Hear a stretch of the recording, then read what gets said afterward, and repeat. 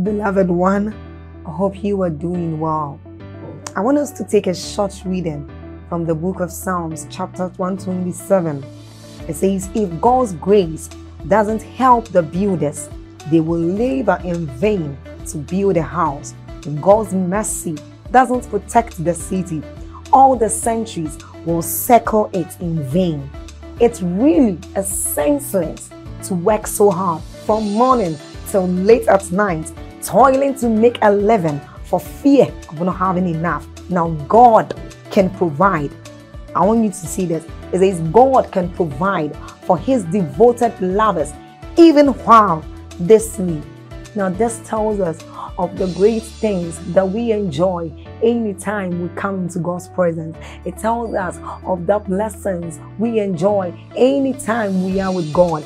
And then we can do this through prayer, through the Word of God, and even as we are about listening to this. So, I want us to do something. We are going to like this video. So, then please hit on the like button if you have not done so. This helps YouTube recommend this video out there to anyone so everyone can have access to it. Also, by doing this, you help in the spread of the gospel and of the good work of this channel. Then don't forget to leave a comment in that comment section. Hit on that subscribe button if you haven't done so and you are new here and then get on to the notification bell and do us the favor of tapping on it too. You are blessed. Stay blessed. Can I tell you why so many believers do not see the grace of God at work in their lives? The reason is because our convictions are not strong. We have not given priority to the things of the Spirit. We may be born again. We may even be filled with the Holy Spirit. Listen, it's one thing to be filled with the Holy Ghost, but it's another thing to submit to the influence of the Spirit. Hallelujah. Meditate on these things. The apostle said, I will not be negligent to put you in remembrance of these things. Although ye already know them and are established in this present truth. In other words, once and again, the Holy Ghost will keep reminding us. It's not enough to keep learning and knowing new things. The Bible says ever learning, ever learning, but never coming to the knowledge, the comprehension of the truth. There's nothing as frustrating as claiming to know many things and yet it does not translate into victory in your life.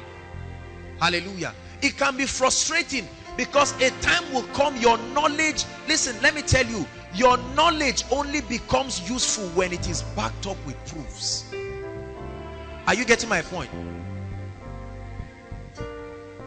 results strengthen your words they make people believe what you are saying when you keep speaking and after seasons and seasons of your life there is no proof of the efficacy of the word.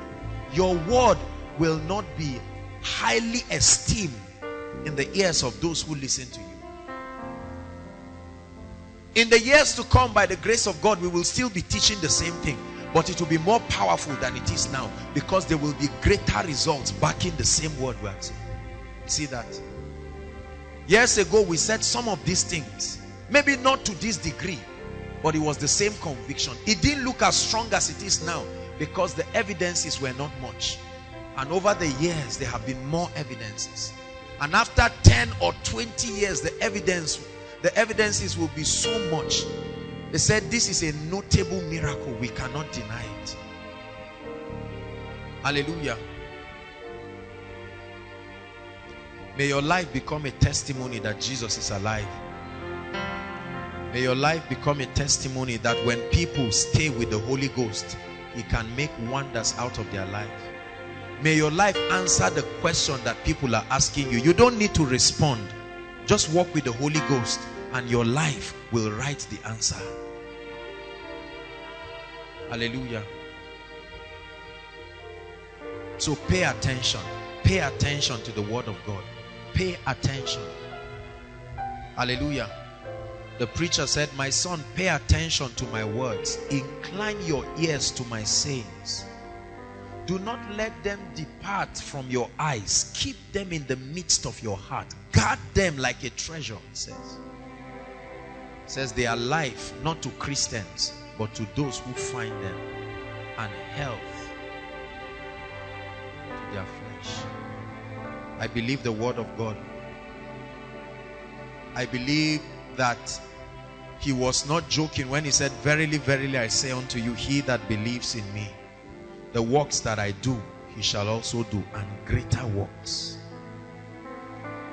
When he said that, I believed him. When he called me the head and not the tail, I believed it.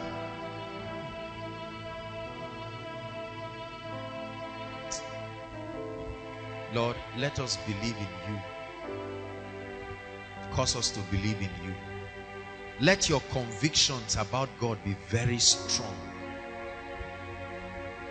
Your conviction about God is a product of your revelation of Him, is a resultant effect. Hallelujah.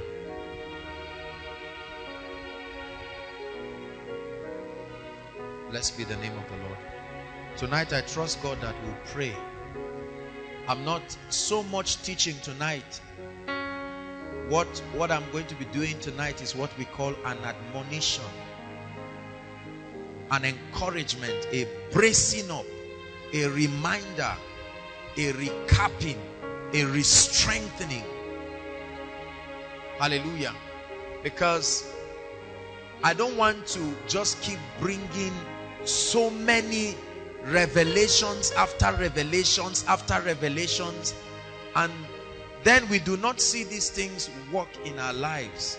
I want, I trust God and I pray this all the time that the word of God will prevail in our lives. Be it unto me according to your word. That's what Mary said. According to your promises, I can stand secure. Carve upon my heart the truth that sets me free. According to your word, O oh Lord, be it unto me. Unto me. According to your word, according to your promises. I can stand secure. Would you carve upon my heart the truth that sets me free? According to your word, O Lord, be it unto me.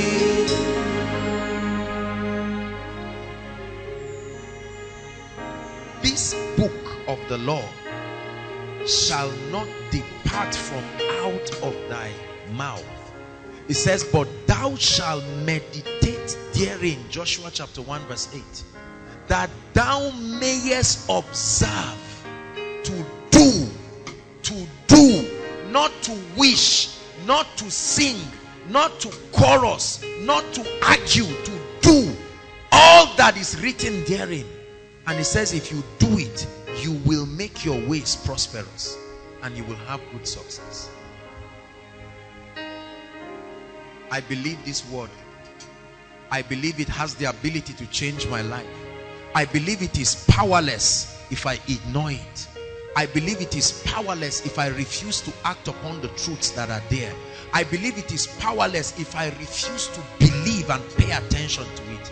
But if I pay attention to it, it will change my life. Hallelujah. Only you are holy.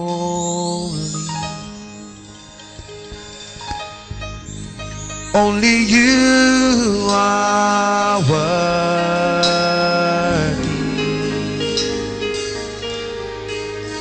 Only you are wonderful.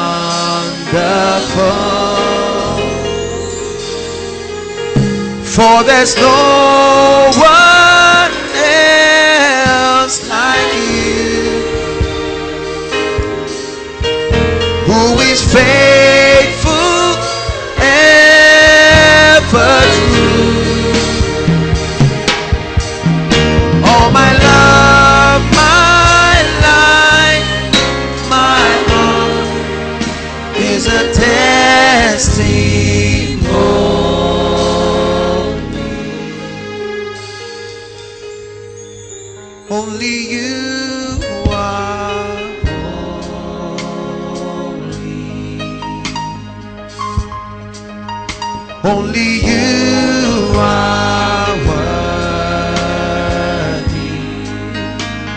Only you are wonderful. Only you are wonderful. For there's no one else like you who is faithful ever true.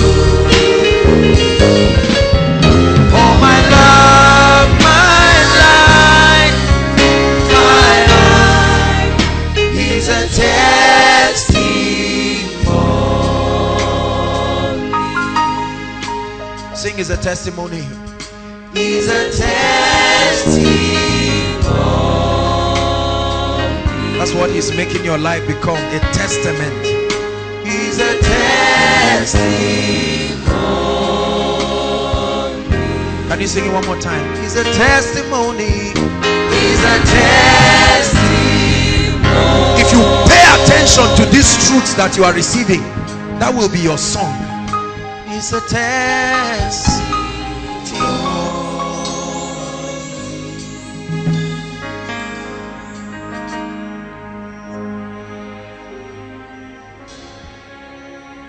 That if you take the principles of the word of God and you make up your mind listen listen agreed that before now you didn't have access to truth. Agreed that you were born poor. Agreed that you were born under yokes and curses and all forms of idolatry.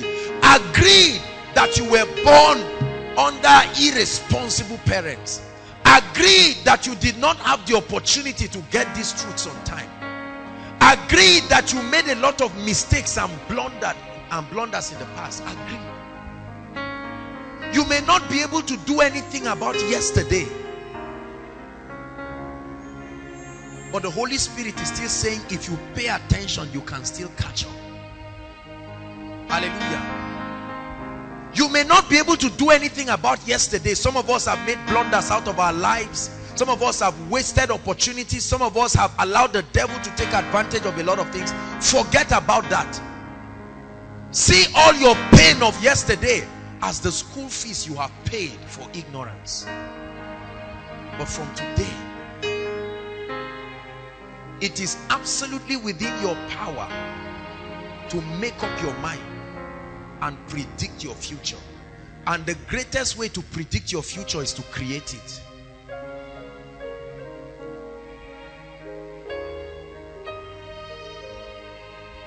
The word of God is powerful. But you will never understand the power that is in the word until you understand how it makes people powerful. The word of God does not make people powerful just by default. No. No hallelujah. Come promise. Let me show you three things that the word of God does. It's an admonition tonight. Please pay attention. Let's call this guy a drunkard a smoker poor broke on his way to hell. Is is just an example. Irresponsible. Call him anything womanizer whatever. Just name it. Watch this. This brother is the way he is. Listen to me. Because there is an ideology. Are you getting what i'm saying? There is a mindset that was enshrined in him either as a result of his past, as a result of his background, as a result of the influences around his life. So he grew up with certain convictions. And based on what he knew to be greatness, he grew up seeing other people smoking and drinking and sleeping around. And they felt like big boys. And he was attracted to their proposal of what they call greatness. And he permitted it to become part of his mindset. Are you getting what I'm saying now? He never, as he is right now, from the example I'm giving you, he doesn't know this gentleman, he doesn't know that there are laws in this kingdom. He does not know that life can be predictable. He does not know that it is up to him and the Holy Ghost to birth the quality of his life. He's waiting for mother nature. He's waiting for situations wondering why nothing seems to work. Hi. And then listen listen listen listen. Jesus christ. The word of god comes. Watch this. When the word of god comes the first thing the word of god does is to reveal to him the inferiority of his current position. Because you will never change until you are dissatisfied with where you are why should I change if I'm okay with where I am? Are you getting what I'm saying? So the Holy Ghost opens you up to a new horizon through the word. And you see that life can be lived at another level. That there can be a level of excellence beyond that which you have seen. And so this brother sits under an anointing like this. And listens to the word of God. And the word of God begins to challenge him. At first he will resist the word because the word of God will make him take responsibility for his current position. And we hate taking responsibility. That's why we love passing blames to demons. Is that true? We love passing blames to spirit entities and say they are the reasons. And now this brother is finding out that there can be a quality of life. And by the way, when he is alone after drinking and smoking and living life at a lower level. The truth is that in his secret place there is a cry. Are you getting my point? He wants a life higher and greater. I've spoken to all kinds of people cultists smokers and the rest. There is none of them that likes their current state. It's just that they have become slaves to strongholds and ideologies.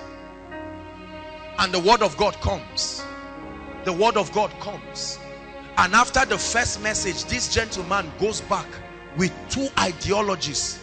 The one he already has that says you can go back join those friends live your life say it does not matter allow anything and hope that one day things will get better.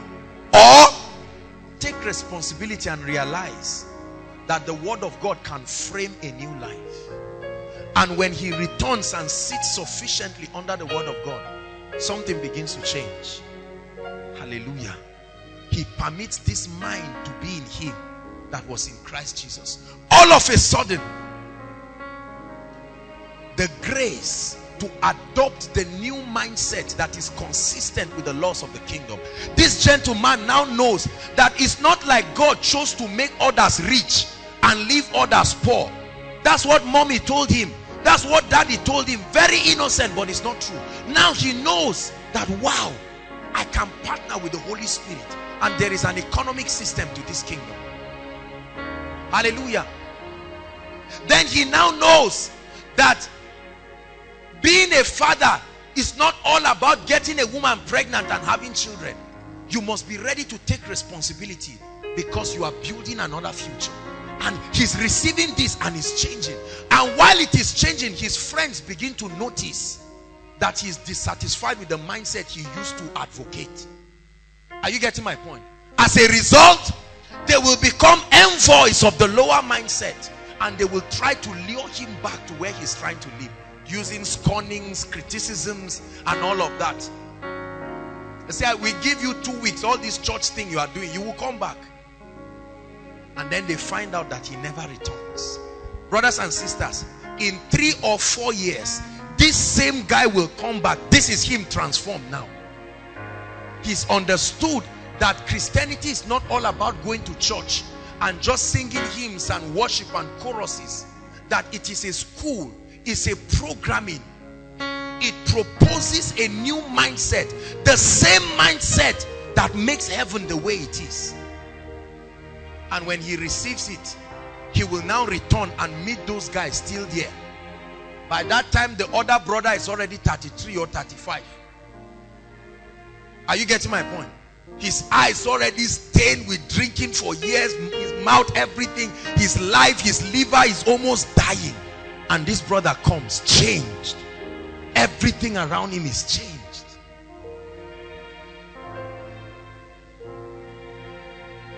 you can choose to remain where you are. You can choose to keep coming for koinonia and enjoy the euphoria of participating in an apostolic activity that God is doing in a territory. You can choose. Or you can make up your mind and say Lord every time I come to your presence I realize that there are two mindsets that war in me. And when I come I am ready to let my old ideologies die. It was because I believed them. Look at the way they made my life. I believed that sickness was the will of God a mindset. I believed that my genotype would never change. I believed that I can just die any day anyhow. It's like that. It happens if it comes give glory to God. But when the word of God comes it begins to propose to you a new ideology. It tells you life can be lived at another level. Whereas you were depending on everybody. You've heard of all those kinds of things. And you you are always hoping that people become successful. And then when they come say bros anything? That's a mindset and all of a sudden the word of God calls you into a place where you realize that in thee shall all the families of the earth be blessed.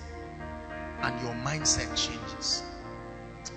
Lay your hands upon your head and pray in one minute and say I allow my mindset to change. Go ahead pray. Before your presence came and changed me. Pray. Shikata baba baba baba lay your hands upon your head and pray and say lord this mindset must change. It must change. I received the mindset because I grew up in poverty because I grew up in idol worship. But right now it must change. It must change. I received the mindset as a result of my denomination but it must change. My mindset about finances must change. My mindset about my life must change. My mindset about the Holy Ghost must change. My mindset about the body of Christ must change. My mindset about my future must change my mindset about my academics must change. My mindset about marriage must change. My mindset about purity and holiness must change. My mindset about long life it must change. I insist it must change. I insist it must change. I insist it must change Hallelujah. Listen. Listen. All that needs to change in your life is your mindset. The Bible says they limited God in the wilderness. A man can limit God. A man can limit God. Please bring this for me. Bring both of them If if this is your mindset watch this if this is your mindset this is all your ideology and Point. Point. This is all you can receive of God because that's all your mindset has allowed. Whereas there is so much. So based on your mindset, this is all of God. Whereas there is still a lot more. Are you getting my point?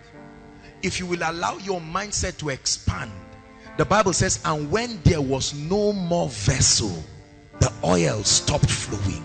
When the woman sat around and she said, this is all I have. God said, Todd, this is the limit to which I can bless you. If you brought more vessels, it would have continued. He says, go and borrow vessels, borrow not a few. And when she got to the limit of how much she believed, God said, well, this is it. If you give God a spoon, he will fill it. If you give him a teacup, he will fill it. If you give him a gallon, he will fill it. If you give him a jerry can, he will fill it. If you give him a drum, he will fill it.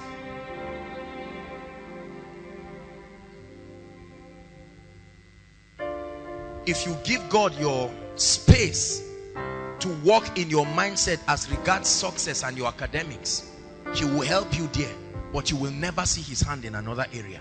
If you give God opportunity to influence your ideologies as regards divine healing he will stop there.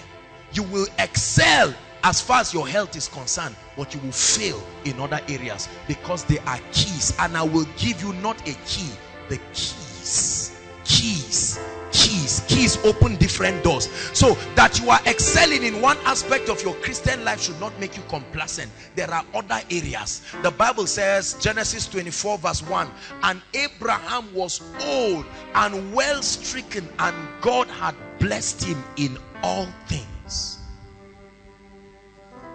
The bible talks about a man called naaman the captain of the syrian army.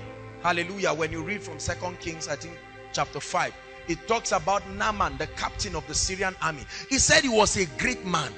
He understood the principles of war but as far as living in divine health was concerned there was an issue there. Thank God for the areas you have gotten.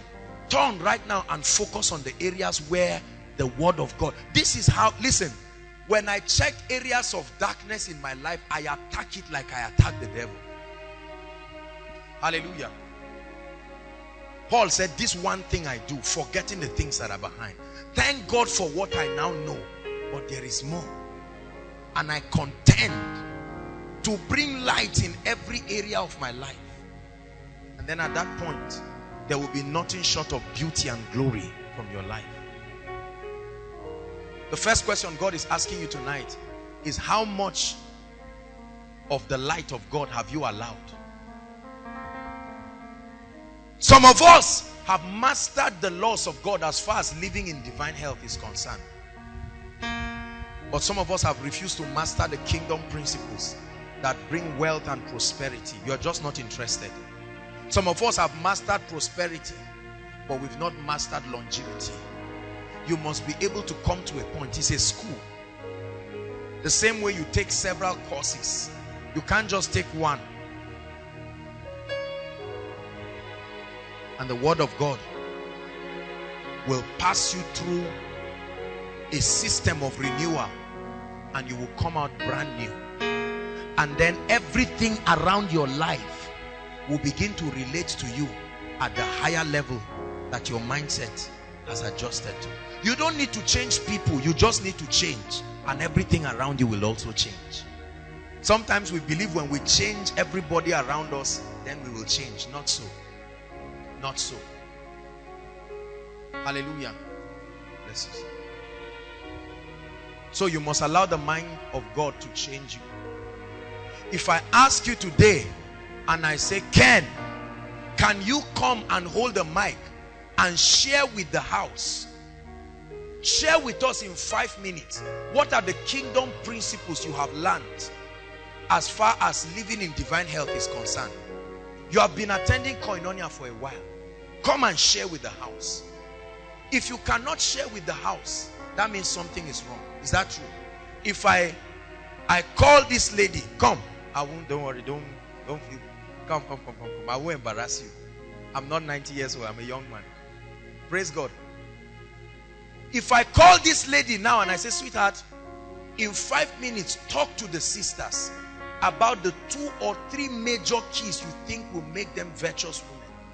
I don't expect you to stand and say, hallelujah. Hallelujah. Oh, you, you know, no. That means whatever you cannot teach, you do not understand it.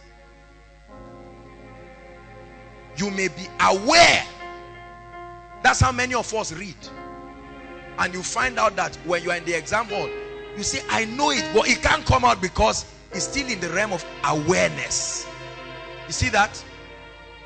There are three levels of understanding or three levels of gaining knowledge. The first is awareness. The second is understanding.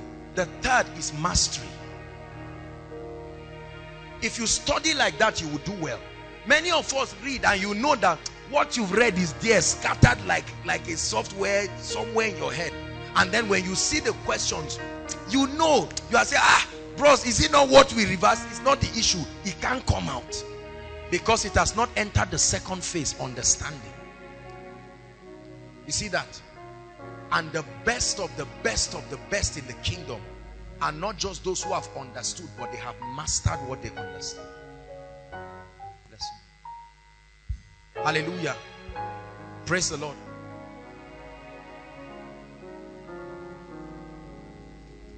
Say, I refuse to be a failure. Say it. I refuse to be a failure.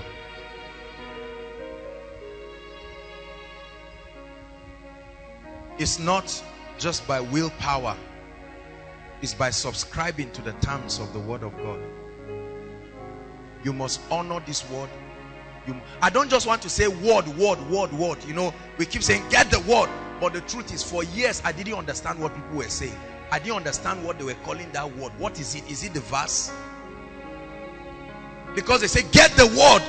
And I was wondering, what is this Bible is plenty. So what is the word? everything.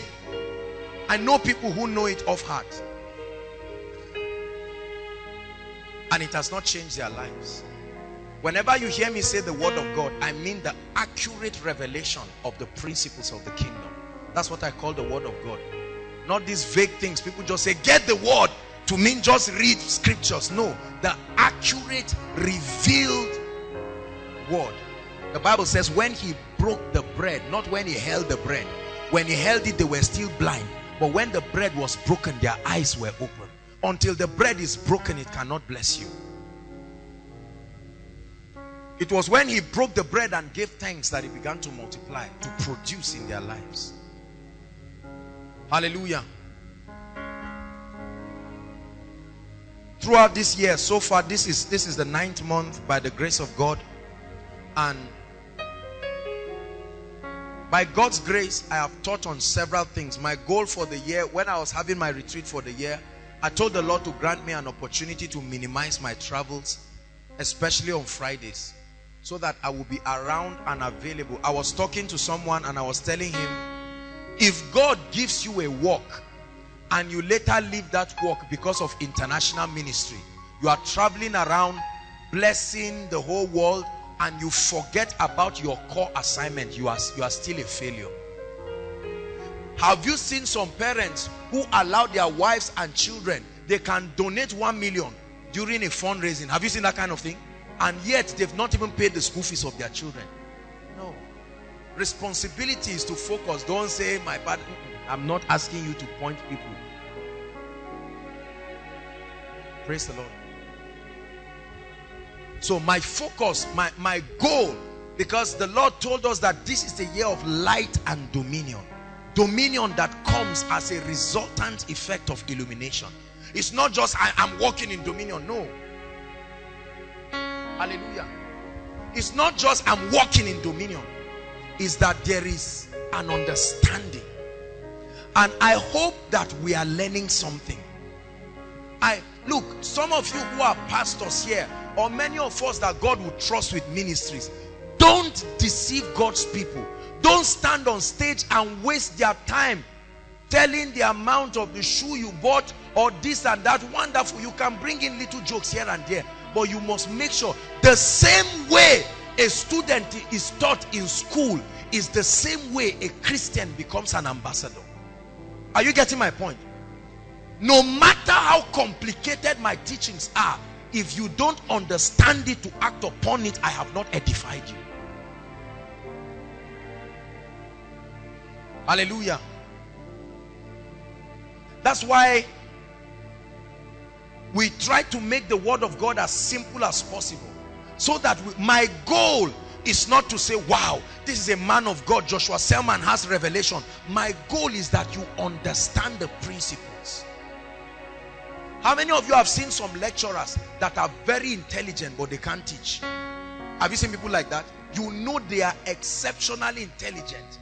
But when they enter the class, you almost have headache because you know you are in for it. They are intelligent but they cannot explain their conviction to the understanding of the students and you find students failing their course not because the students are dull but the capacity to transfer that knowledge to the students. But there are other lecturers when you see them you are excited because they know how to make you understand their convictions. They can use stories they can use jokes. Preachers pastors listen to me. Teach your congregation. Don't wow them with revelations. Teach them. Make them come into a comprehension. There are very little children here there are old people here there are young people here when jesus taught although his teachings were hard they were not hard because they were hard because the power for the, the, the position it puts the people and the change they would they would need to make as a result of that teaching was very difficult. Not because the teachings were so hard in that they could not be understood. He used parables. He used a lot of things. Hallelujah. Are you understanding the word of God? Are you understanding it? I thought I've, I've taught I think for for years now there are very few aspects of the kingdom life by the grace of God that I have not touched. We've touched on marriage. We've taught on, on, on finances. We've taught on leadership. We've taught on success. We've taught on the ministry of the Holy Spirit. We've taught on demonology and deliverance. Different aspects of the kingdom life. Why? Because God wants to equip us not just that you are prosperous and that you do not know how to stand against the wiles of the enemy. Not just that you are sitting concentrating on demons and you do not know that there is an agenda to, be fulfilled. Not just that you are praying in tongues and you are not relevant to your corporate world. Are you getting what I'm saying? There are many people who pray in tongues but you employ them they will waste your money and waste your time and drown your work but they are Christians when it is 12 o'clock in your place of work and you say lead prayers, you will feel like you should just keep praying till evening. But when it comes to principles that bring productivity, they do not know, they don't care. And that, that faulty mindset comes from we preachers. That faulty mindset comes from the preachers. Hallelujah. We take our limitations and transfer it to the people. So if I am serious about praying in tongues and walking with the Holy Ghost, but I have not been concerned about leadership, I teach the congregation that is not necessary. Is that not true? I just tell them, focus on the Holy Ghost and your life will change. And so you will see an amazing church with the power of God, but there's no excellence. There's no excellence. You see that? Then there are people who is all about leadership and corporate governance and how to do it and principles of church governance and church accounting. Wonderful.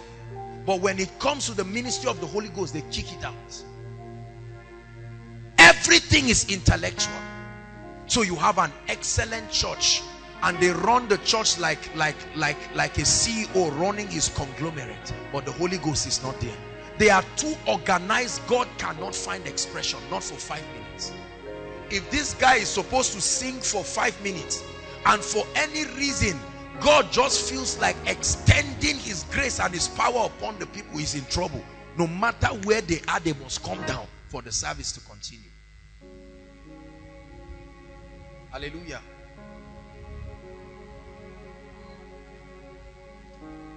Then there are people who are not serious. They won't go for work on Monday, Tuesday. They won't apply for work. They'll say, I know my God is faithful. I can get jobs without, without application because of one or two testimonies that have come. Hallelujah. And they sit down at home. The children are getting sick. The wife is getting angry. There is no testimony of the grace of God there. Monday they are in church. Tuesday they are in church. Wednesday they are in church. And I mean from morning to evening. Thursday they are in church. Friday they are in church. Saturday they are in church. And the wife has one small shop that the man is eating everything there because he has not been taught that if you delay gratification, it can bless you. And they don't care. So although they are praying, they are fasting, but they are not rightly dividing the word. And so as a result, there are dimensions of God they will not experience. Every time they go to church, they will fall down. I guarantee you. They will see visions. They will prophesy to you. But they will not be relevant to the corporate world. Therefore, we must be built. Remember the teaching, the full gospel. We must be built holistically. And this is what, by the grace of God. Not everybody. See, there are preachers, the way they preach, if you don't plan to be a preacher their ministry is useless to you. Are you getting my point? and it's not accurate. Because you now turn a CEO to become a man of God. And he finds out that he's struggling.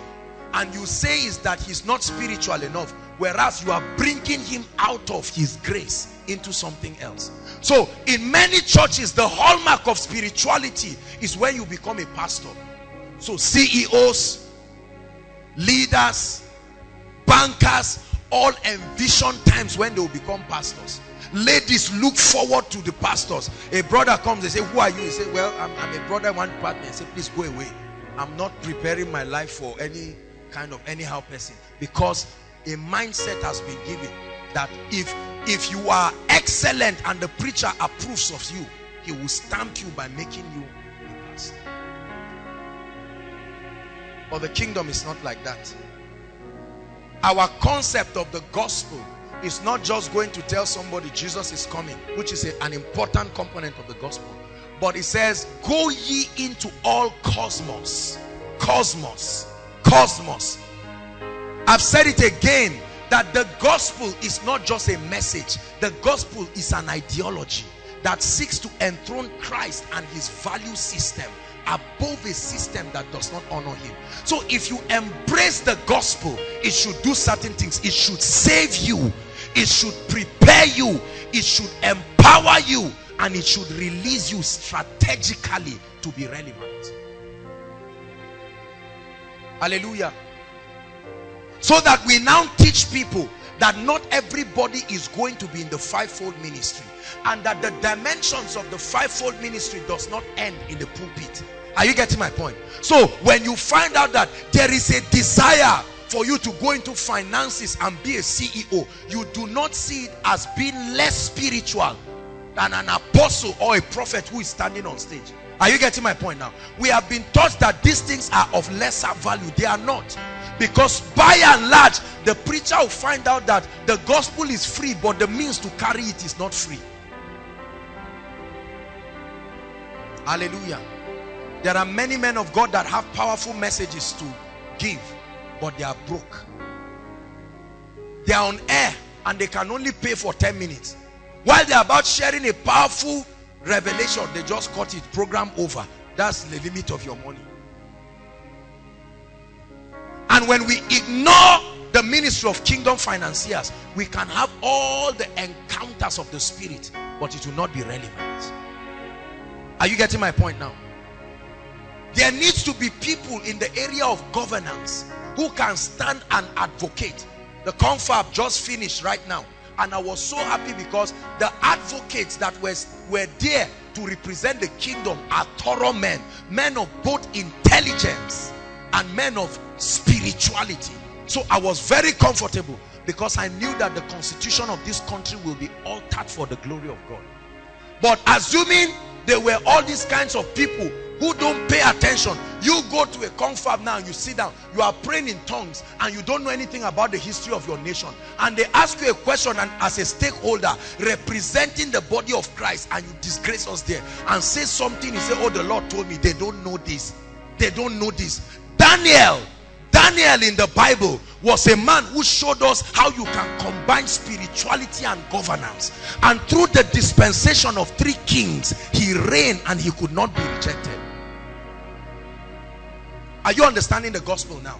This is the gospel. And like, like Azuka was saying, now you see, with his spirituality and his understanding, he's going into the area of the media because he understands there is a mountain there. Praise the Lord.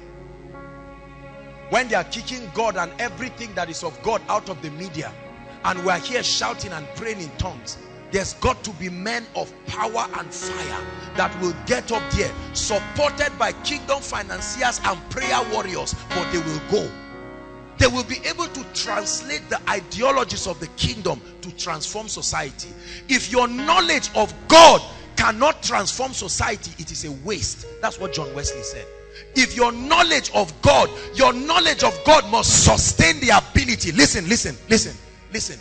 If I plant a church in a region and after five years, the community does not see the relevance of the gospel, I'm wasting their time. Is that true? Believers, unbelievers, and everyone should attest to the fact that there are a people with a mindset. So with time, they see that there are miracles happening supernatural acts of God but then they see that with time a school is built for that community and after five years children who would not have the opportunity to go to school now go to school. And you build the school and introduce new curriculums. You know I've, I've, I've told the workers by the time God permits us to start building our schools there are three courses we are going to add. You must write it from JS1 to SS3 number one is called spiritual growth. Number two financial education number three I don't know what the name is. You must do it from beginning till you finish. But not just going to teach social studies and and and and and, uh, uh, uh, and uh, biology and all of those kinds of things. Elementary science. Thank God for those things. We must educate the people so that our children are relevant to society and still sustain the values of the kingdom listen i'm teaching you how to transform society not just how to build your ministry how to make your ministry relevant. There are many of us by the grace of god the reason why our parents are glad that we are coming here is not just because of praying in tongues. They are seeing our ideologies change. Something is changing about your life. You are adopting value systems that are attractive. When we become agents of change by introducing a mindset that can affect society then they will listen to our gospel. Hallelujah. But for as long as the church keep behaving like fools on stage people just come and they see us bouncing and praying. And the moment we finish everywhere is rowdy rowdy there's there's all kinds of disorganization. No system for honor. No system to build people. There is no structure. You don't behave like that. Because many many pastors and many ministers we have not been told that we are also agents of change in the institution. You see that? We we are not we are not told that our relevance transcends just spirituality we have not yet seen ourselves as agents of change to society. May god make every one of us here an agent of change. In the name of jesus christ.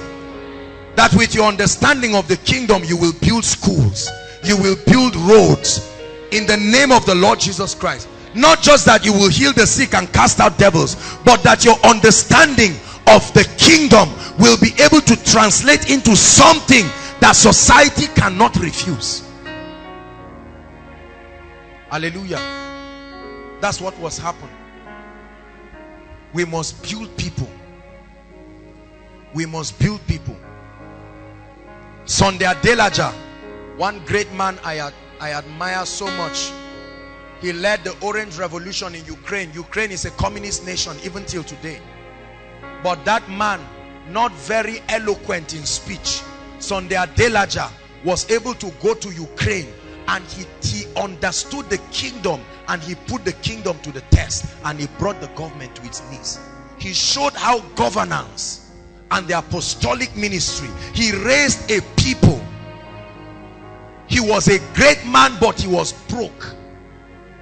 And he sat down and studied the principles of the kingdom. And in six months he became a multi-millionaire in dollars. And in two years he raised 200 multi-millionaires in his church from the scratch from nothing. You think the government will not? Let me tell you. Let me tell you. There is a level of relevance that you can command that even if you are not the firstborn in your family you don't need to steal any birthright wisdom and influence will give it to you. Whoever can bring anything on the table is the one who speaks. If you can't bring anything on the table you cannot speak any kind of story. Whoever can bring anything on the table that you are praying and the moment you finish praying that prayer translates into wisdom. Hallelujah. Wisdom is the ability to know God's perspective about everything in life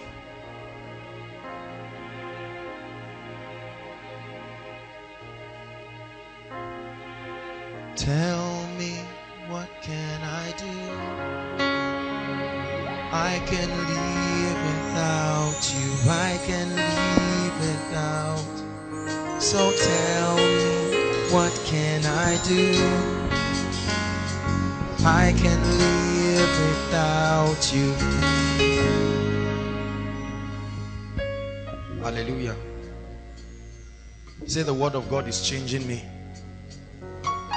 Brothers and sisters i have a guarantee. You will be so successful it will shock you. No i'm telling you the word of god is making you become something you cannot even stop. Hallelujah the word of god. I know people here by the grace of god who were either of the other faith or came here with all kinds of mindsets. And i am amazed I'm amazed to see what God is doing. And we give him all the glory. And by the grace of God days will come we will celebrate greatness at another level. If you are interested join us there. If you get there you don't find me you've not arrived there a day will come we will celebrate greatness at that level. Yes. Some of you will just go to your village and count the local government there and say please this land build churches. This is the budget for the kingdom. This is the one to sustain the pastors for the next five years. Let me know when it gets to three years.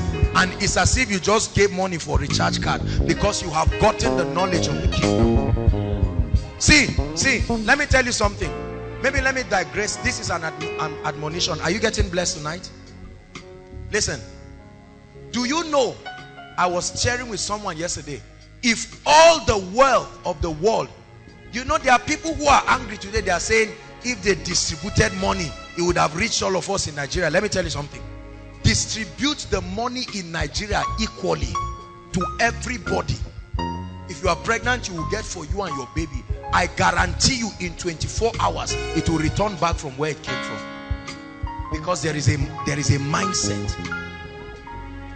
The poor people will do the same foolish things they've been doing, although they are spiritual, and then it will leave them but the gift of a man the gift of a man the gift of a man by now you know that you have something all your life you've been told you are nothing they call you a lodo and you, at a point you even answer it yourself you believe it but the word of God lets you know that the gift of a man say I have something say it I have something that the world cannot reject I have something I have an ability. I have an anointing. I have grace. I have wisdom. I have insight. I have intelligence. The world cannot reject it. And they will pay you for it. They will pay you in ways that will surprise you. You will see it happen. Brothers and sisters, my Bible tells me that if the cloud be full of rain, hold on, you are not seeing anything now, but it doesn't mean any nothing is happening. Even the devil is a witness that you deserve to be blessed. Even the devil, he's watching your commitment. He knows he's a witness. Satan ran to God and said, Kai, this Job's issue. God said, Have you considered my servant Job? Satan said, I tried. I tried. We will feed nations. We will feed nations. Some of you will set up publishing firms that produce the Bible in any language. Any. See, this is kingdom advancement. Kingdom advancement is not just intercession. Kingdom advancement is getting up to confront the gates of hell. And there are tools that help us to confront those gates. Number one, the anointing. Number two, wisdom. Number three, excellence. Number four, prosperity. These are all the tools that will empower us to confront the gates. Hallelujah. Praise the Lord. This is what God is making out of your life. This is what God is making out of your life. But the question I want to ask you before we continue is that are you paying attention to what God is doing in your life? Because I don't want to assume all of us are paying attention. There are some of us, as you are hearing this thing, you're just rejoicing because you're part of the crowd, but you know that if it's to be one-on-one, -on -one, you and God, you're not doing anything. You don't even believe what we are saying it looks like we're just gyrating the beautiful thing about success is that it is an individual affair you can choose to believe it or not if you don't believe it we'll take care of you in the future but if you believe it together we'll do great things for the kingdom. Hallelujah. Praise the lord.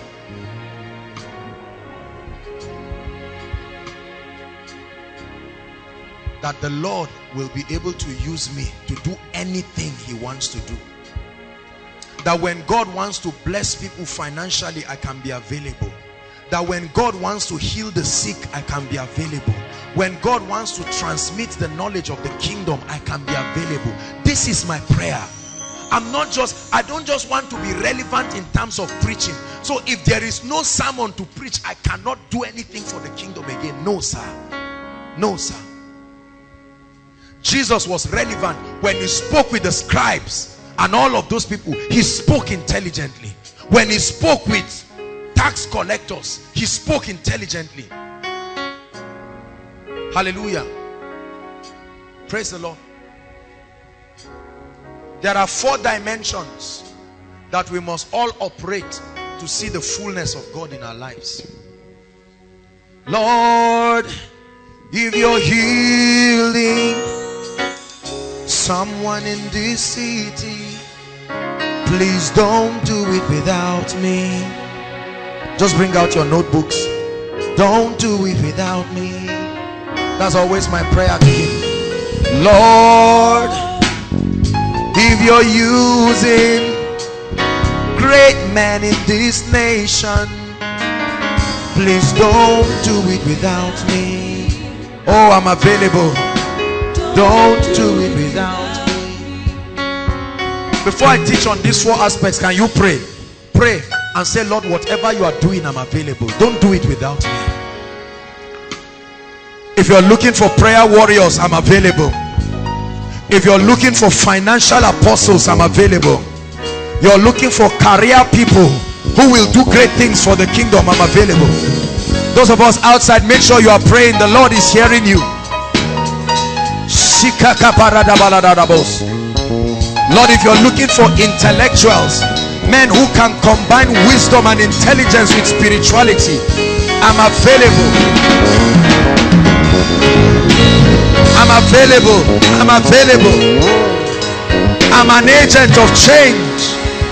I'm an agent of national transformation. Hallelujah. Hallelujah. Please look up. Revelations tells us that at the throne of God Almighty and the Lamb, Jesus Christ, there are four living creatures. Four living creatures that are before the throne. And it tells us the first living creature has the face of a lion. Hallelujah. The second living creature has the face of a calf or an ox. The third living creature has the face of a man. And the fourth living creature has the face of a flying eagle. And now realize that everything in heaven is a reflection of who God is. Everything in heaven. Hallelujah. Everything. The construction of the tabernacle from the court of the temple right to the most holy place. Everything speaks about dimensions of God. So it is in heaven. All of the things in heaven attempt to describe the majesty and the glory of God. So the four living creatures are four major dimensions that every believer who wants to reflect the image of Christ in his fullness must be able to walk in. Number one is the face of the lion. The lion is an animal that is known for strength, attitude, courage, dominion. The face of the lion talks about the dimension of your Christian experience where you must walk in dominion and authority. God wants that in a bid to reflect his glory, you must be able to demonstrate the authority of the kingdom you must be able to walk as a king. Revelations 5 verse 10 it says we have been made unto our god kings and priests and we shall reign reign reign. Hallelujah. Bible says those of us who have received the abundance of grace and the gift of righteousness he said we shall reign in this life. Hallelujah Say, I am royalty. Everyone say it, I am royalty. Yes, this is a dimension of God that he wants you to reflect. Because he is a king, the royal one. And he wants you to walk in that authority. The centurion said to Jesus, and he got Jesus interested.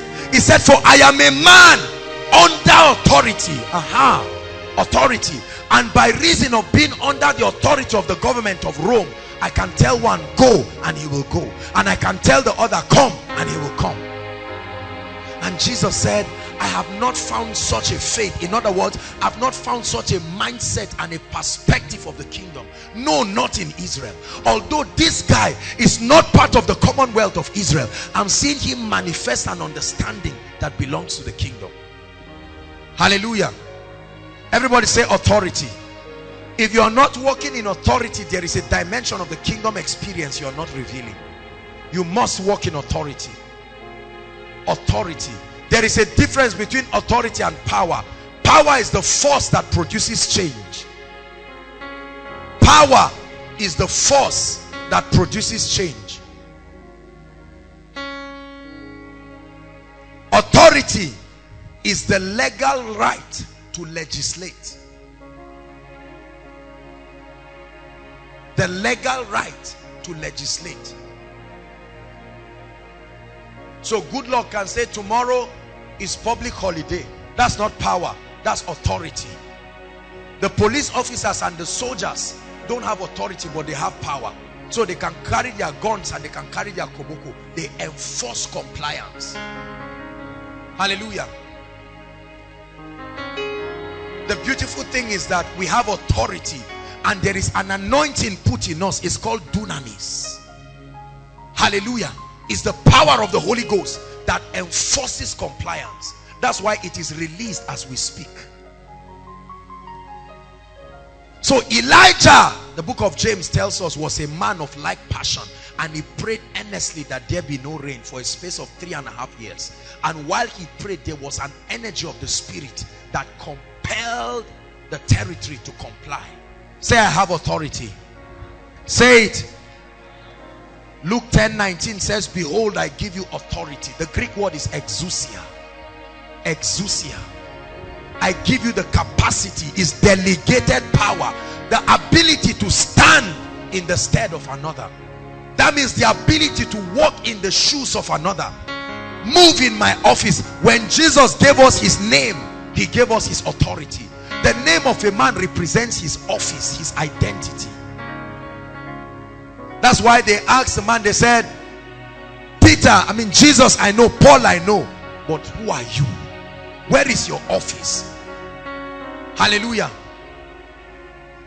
When Jesus sent the, the, the 12 and also when he sent the 70, the Bible says they all returned rejoicing. And he asked them a question. He said, when I sent you, not when you went on your own, when I sent you, lackest thou anything? When I sent you, everybody say I'm sent. Comes from the Greek word apostolos, Titus 1 verse 1. The highest envoys of the king. So the king brings them and trains them. Hallelujah. Prepares them, teaches them his ideologies, and he sends them to go and colonize a country on his behalf comes from the Greek word apostolos, the envoys of the king. That's where you get the word apostle. And that's where you get the word ambassador. Envoys that are sent. Everybody say, I'm sent. Say it, I am sent. The Bible says, as my father has sent me, so send I you. Do you believe it? So say, I'm sent with the backing of heaven. Say it, I am sent with the backing of heaven. The Bible says in Matthew chapter 5, Jesus teaching on the mount, what we call the Beatitudes or the constitution, the unveiling of the constitution of the kingdom. He says, ye are the light, not of your church, not of your denomination. You are the light. You give illumination. Light of the world.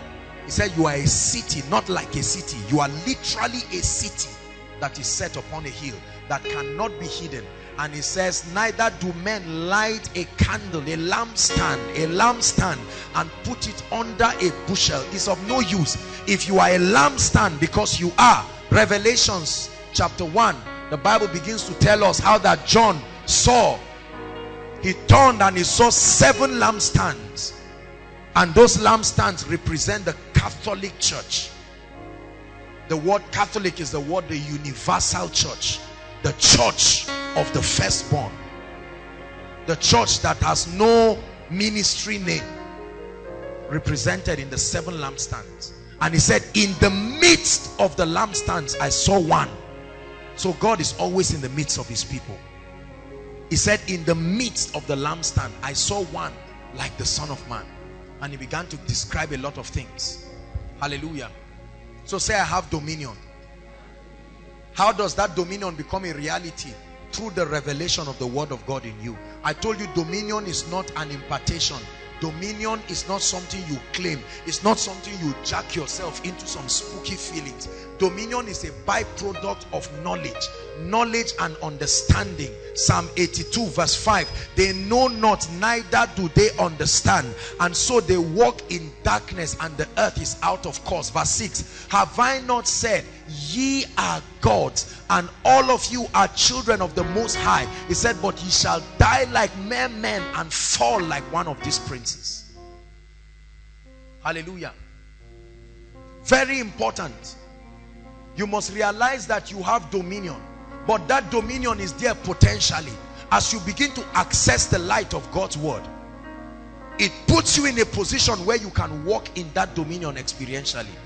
Hallelujah I have dominion over principalities, over powers, over thrones, over every name that is named. And my dominion is exercised on the strength of my understanding of the way the realm of the spirit works. And so I can tell this demon spirit, stay and go. And when he looks, he will see the foundation upon which that statement comes. And he knows that I'm not just making empty noise. Hallelujah. Because every time I speak to that spirit and I say go, there are many scriptures that support my conviction. The Bible talks about the angels who excel in light and excel in strength who confirms the words of his messengers. And I am sent because I am a messenger. So when I speak I expect the backing of heaven. So don't just speak. There must be revelations that sponsor your confidence. If I if I turn to Folake and I say be healed what is the revelation that backs up this that I've said if there is nothing she will not be healed hallelujah so as I stand, I remember that the spirit that raised Christ from the dead dwells in me. I remember that I've been authorized. The Bible says how God anointed Jesus of Nazareth, Acts 10 38, with the Holy Ghost and with power. And the Bible says he went about doing good and healing all they that were oppressed, not all they that were sick. So every sickness is an oppression. So when I tell her, be healed, I know that it's an oppression. Hallelujah. Hallelujah. And when I speak and I say be free, there is an anointing that leaves me. And I understand from Isaiah 10 27 that that anointing breaks yokes, it takes away burdens. When I prophesy and I say in the name of Jesus, let a new season be open unto you. I understand that the Bible says to appoint unto them that mourn to appoint you know what it means to appoint to set a date for their liberty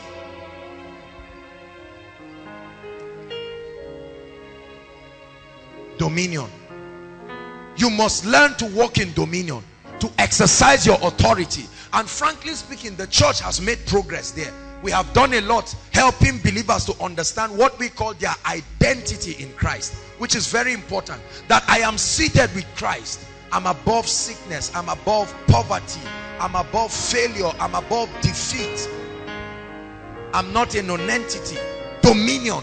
All the aspects of our kingly dimension.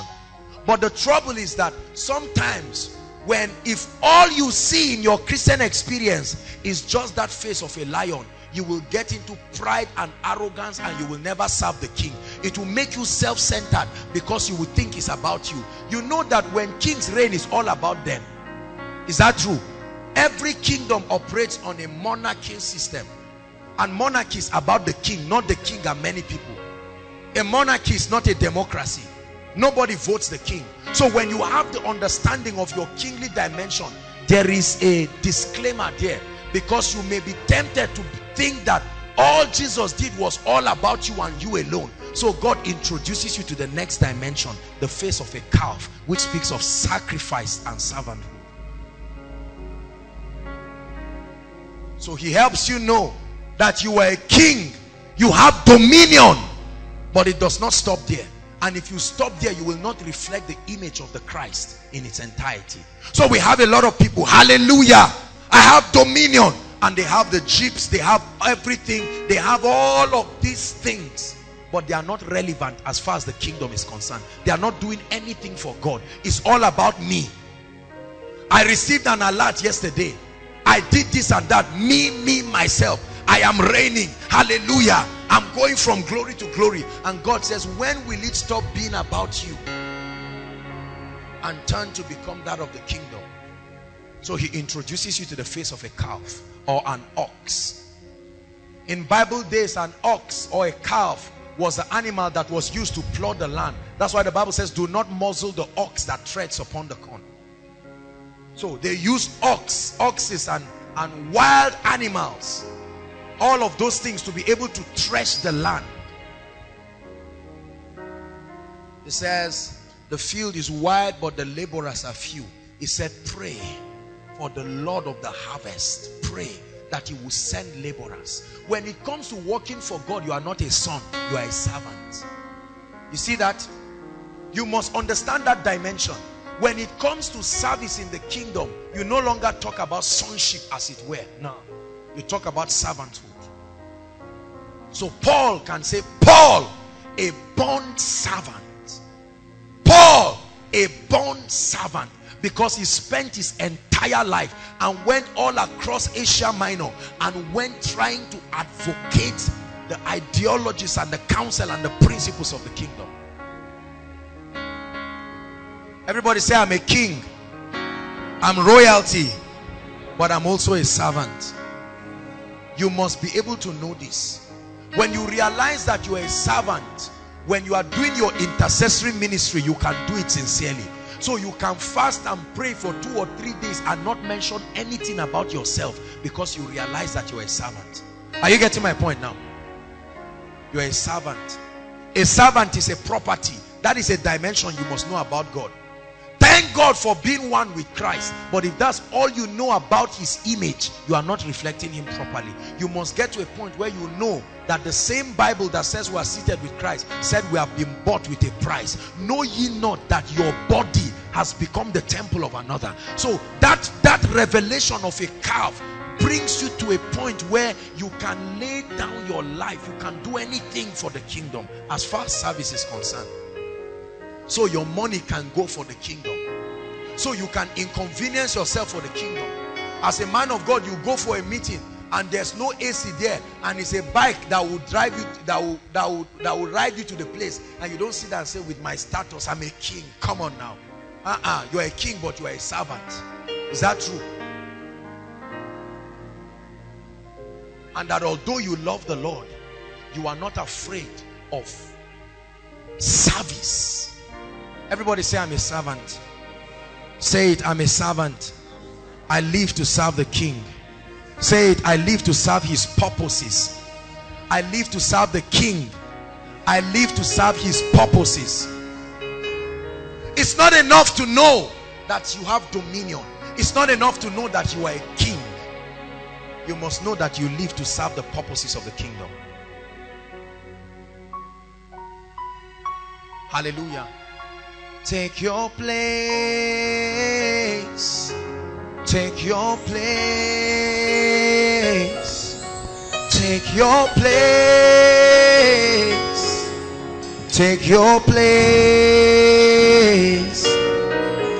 Take my body, my soul, my spirit. Breathe on me. Take my body, my soul, my spirit on me. Take my body, my soul, my spirit. Breathe on me. So whatever inconvenience it may bring to you, you are willing to go through it. Paul said, so then death walks in us, that life will walk in you. Although you are a king, although you are royalty, if it takes cleaning the house of God, you can do it as a millionaire CEO and you know that I am a servant a born servant. Hallelujah. Praise the Lord. Celebrate Jampa it's good to see him. Hallelujah.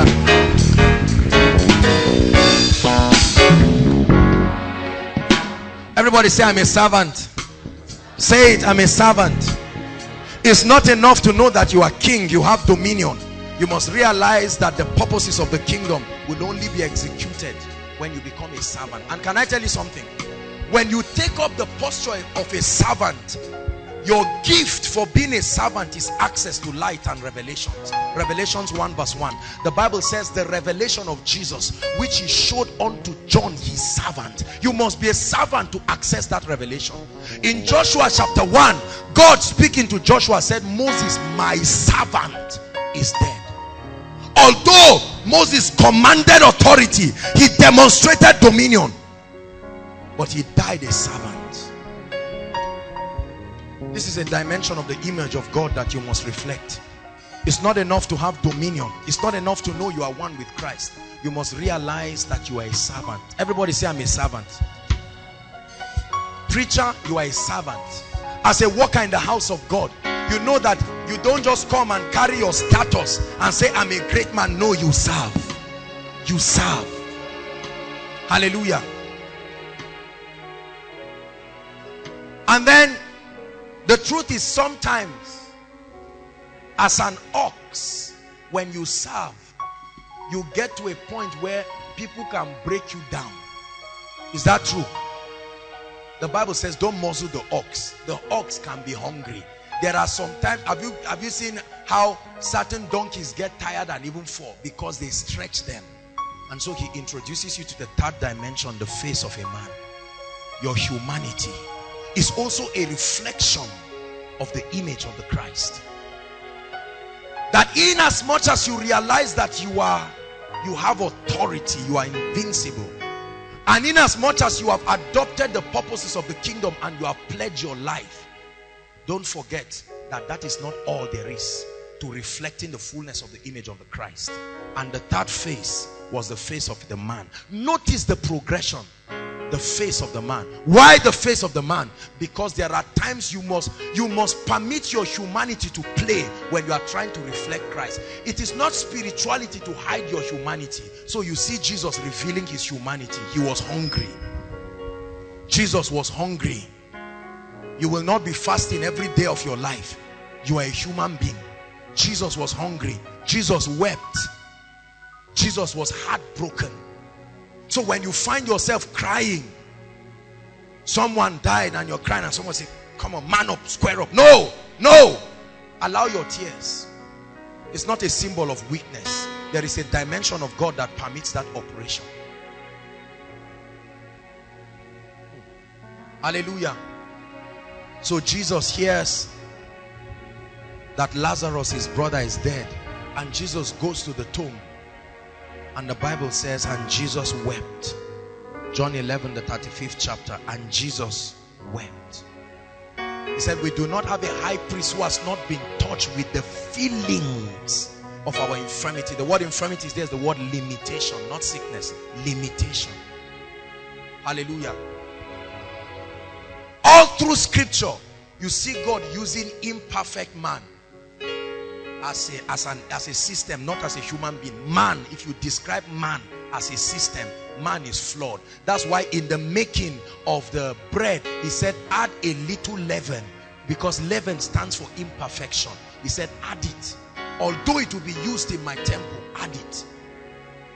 The beautiful thing about God is that he does not wait for you to be perfect before he uses you. He can be building you on the go. Hallelujah. See, all the people that God used in scripture, they were not perfect people.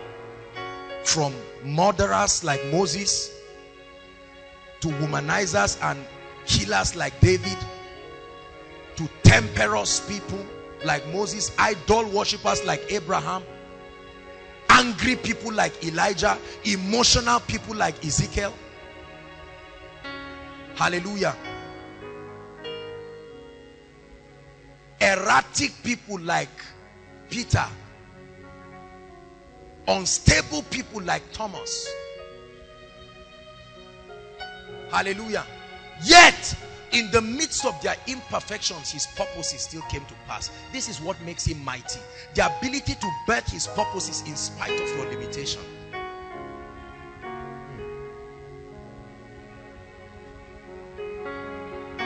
Everybody say i'm human. Say, I'm human. The man that pioneered the Welsh revival, the man that pioneered the Welsh revival, died not because it was his time. He died because he understood that he had dominion and he knew that he was a servant serving the king, but he forgot that he was a human being it was said he literally walked himself to death because he believed that if he did not frontier the revival it would be corrupted so based on his fear of the revival being corrupted and then the corruption now attributed to him he took his humanity i mean he forgot about his humanity and he died. Do you know there are many GOs and great men that died before their time because they want to win the whole world? They have over 30 or 40 ministrations in a week flying all around and they are tired. I used to be like that until the day God gave me this revelation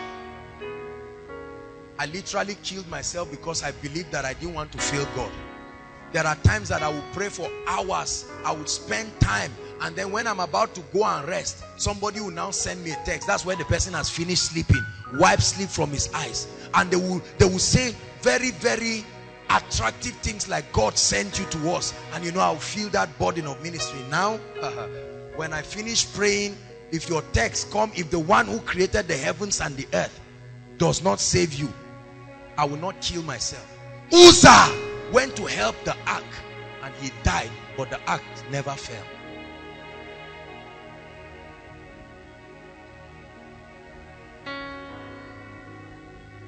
Hallelujah. So be careful because some of us are literally killing ourselves. You are priding in the fact that you are getting lean you have convinced yourself that it's a sign that you are spiritual. That when men see you and your voice is husky your face is oily the, the, your appearance there's nothing to be desired about it. You equate it to spirituality. Not so. There is a dimension of your humanity. And God rested. God rested. And the proof of rest is that you cease from your work. You must rest if you plan to use your body for a long time you must create a system. I used to say yes to every ministration. Jack of all trade going to win the whole world. And one day the Lord gave me a revelation. He told me to look at a cross. And he said your face is not the one on the crucifix. You didn't die. No I mean it. Very seriously. And it dawned on me that I'm only a member of the body not the body so the best that I can be is an effective member of the body. There are many men whose families have gone down the drain because they are doing ministry. The children never get to see their father. The husband never gets to spend time with the wife. John Lake. How many of you have heard of John G. Lake? When John G. Lake's wife was about to die, John G. Lake's daughter said if John Lake was around, the mother would not die because he was there trying to save the world. His wife was dying. The daughters wanted their father but he was there becoming a lion and becoming an ox and he forgot that he was a human being and he came back to meet the obituary of his wife.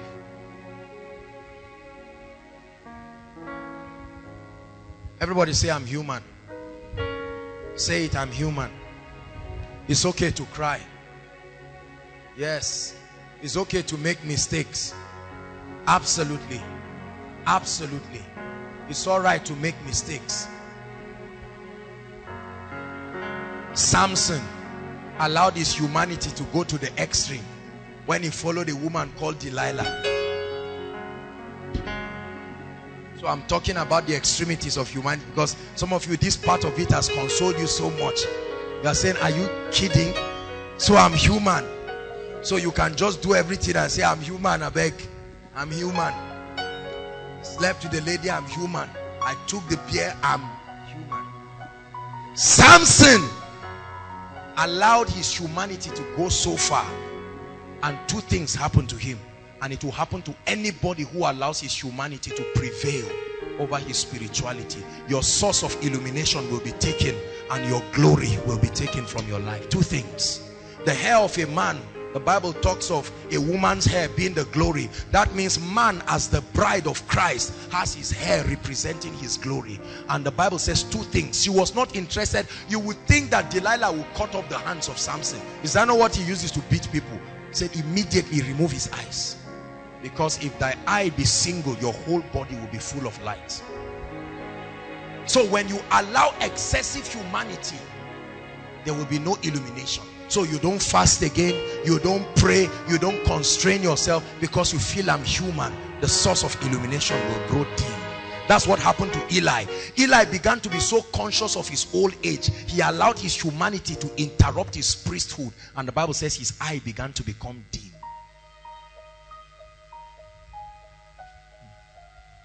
And it takes us to the fourth phase. The face of the flying eagle. So although you are human, lest you allow your humanity to cross beyond its boundary. It reminds you that you are from above the flying eagle that there is a technology in the spirit that is able to remedy for the predicaments of your humanity. And then the bible now begins to say i know that even the young men can grow weary. The youth can faint. I know there is a provision for your humanity it's not backsliding i know there is a time you cannot pray It's, is natural. I know there is a time you may not want to study the word. There is a time challenges will overwhelm you. But it says there is a technology in the spirit that has been made available to supplement for that predicament. It says, they that wait upon the Lord. It said they shall renew their strength. And they will mount up with wings, not like birds, like the eagle. That was the eagle there. They will mount up with wings like the eagles. So when men see your humanity and they see that you are perplexed on all sides, everything is happening and it looks like you will never come out. All of a sudden, you sustain the technology in the spirit. We will run and not grow weary. We'll walk and we'll not faint. For the Lord will go before us and his joy will be our strength. Mounting up with wings as eagles as the Spirit says it so, we will come into His presence. We'll wait upon the Lord. You know the song? We will wait upon the Lord. Oh, hallelujah. For in His presence is fullness of joy,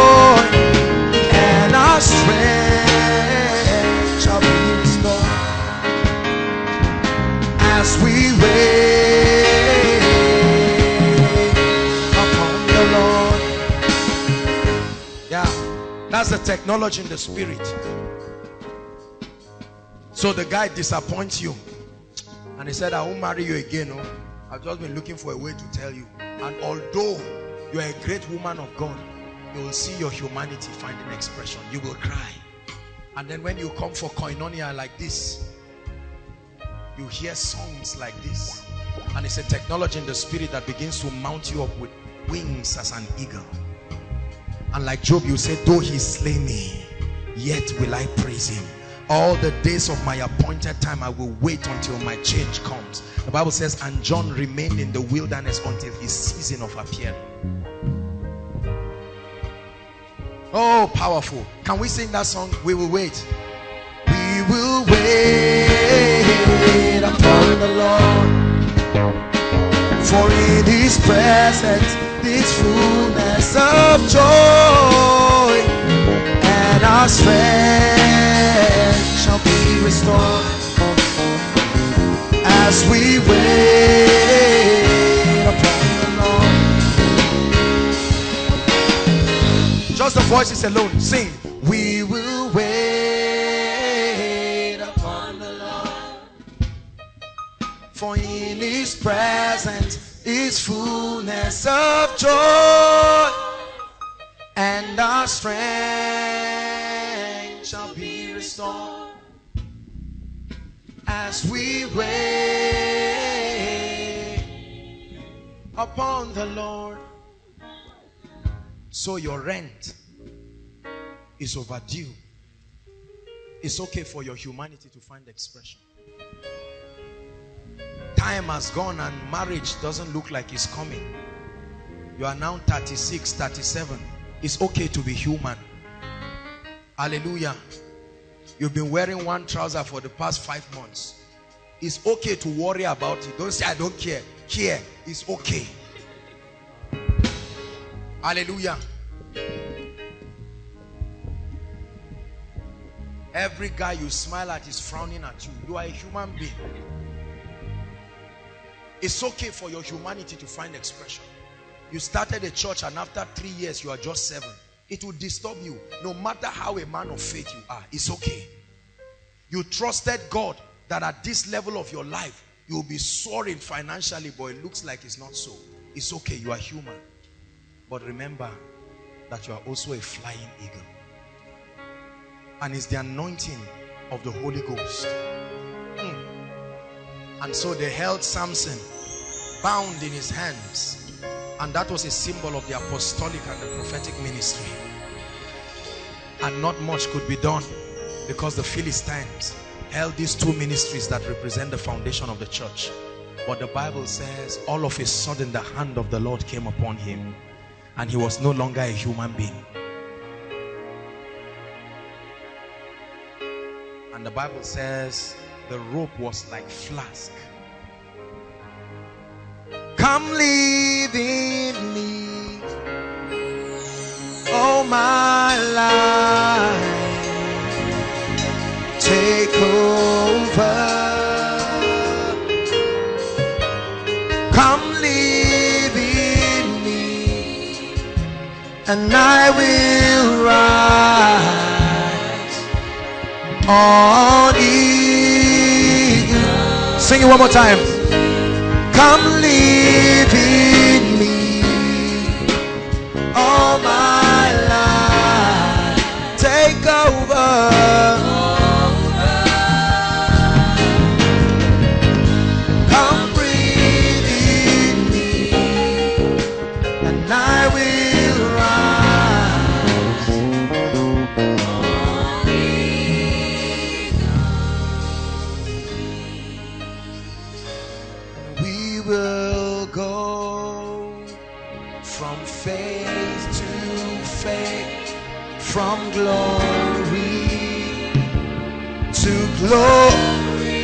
Rise when you allow the anointing of the spirit to open you up to the dimension where you are a flying eagle from glory to glory. And now forever be chasing after you. I'll be chasing after you and now forever be chasing after you. I'll be chasing after you. So tonight is an admonition. He said, I will not be negligent to put you in remembrance of these things, although ye already know them and are established in this present truth. Says, No man that warreth entangles himself with civilian affairs. The Bible says, Meditate on these things, give yourself only to them, that your profiting will appear unto all. We're going to pray. Listen, listen. There are many teachings that have come that can minister to every area of your life that you desire growth. And these messages are all free from finances to your relationship with the Holy Spirit to understanding the kingdom to marriage to success to greatness to faith. You can access the resources and stay there. Stay in the presence until something breaks open. Rise up on your feet and we're going to pray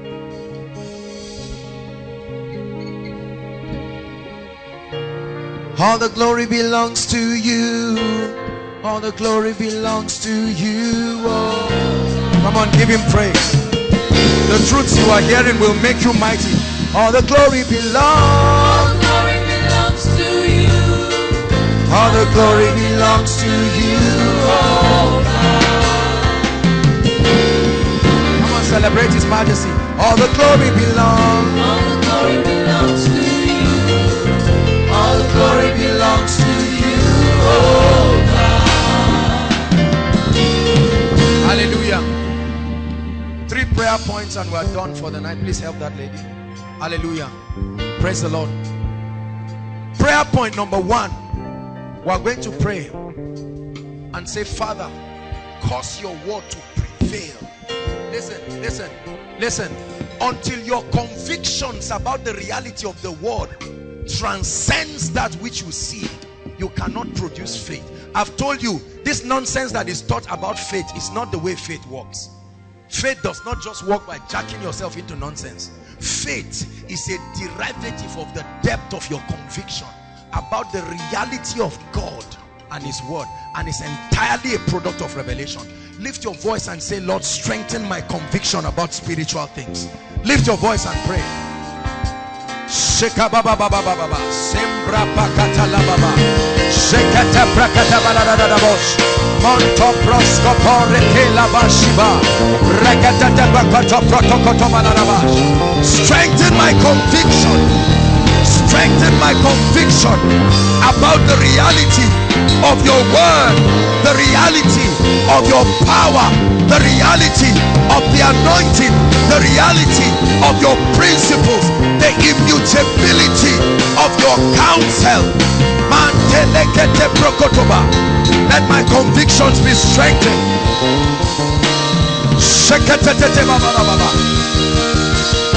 They that know their God, they that know their God, they that have experienced Him shall be strong, empowered with might.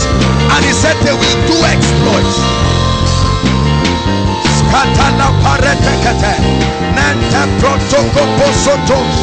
They that know their God. Oh yes, pray. When your conviction becomes strong, you will do exploits in ministry. You will do exploits on your job. You will do exploits in business. You will do exploits in leadership. You will take the mountains and confront the gates and stamp upon the gates of the enemy. Strengthen my convictions where my convictions are shaky strengthen my conviction hallelujah listen listen listen to me listen the dimension of the glory and the power of God that is released in your life is dependent on the strength of your conviction about spiritual realities Hallelujah. When you realize it's not enough to know that the spirit of the Christ lives in you. Do you know the implication of what that means? It's not enough to know that you are a success. Do you know the implication? Strengthen my convictions. Strengthen my convictions. You are going to pray. Mention the areas of your life where you are not yet convicted, where the word of God has not gained ground, and say, Lord, help me. Lift up your voice and pray. For some of us, it's in the area of finance. Some of us, is in the area of marriage. Some of us, is in the area of our strength. Some of us, is in the area of your job. Lift up your voice and pray. Strengthen my conviction. Deepen my roots. Deepen my roots. Let me understand the system of the kingdom. Shekete.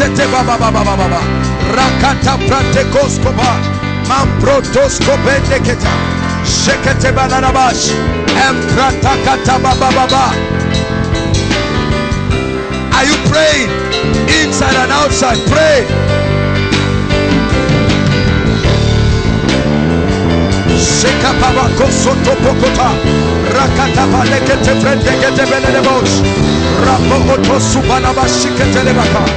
Strengthen my conviction. The Bible says, be unshakable, be immovable, be steadfast, be unshakable, be immovable.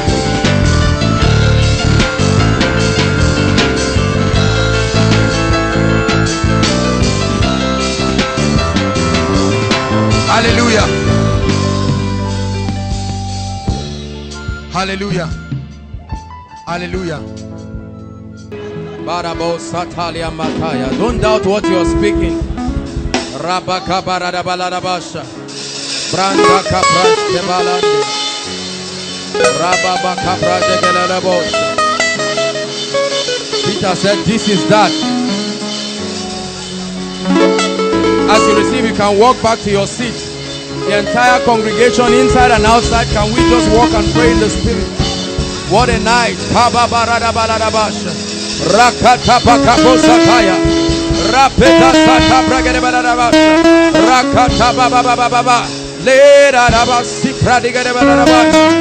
Thank you for your presence.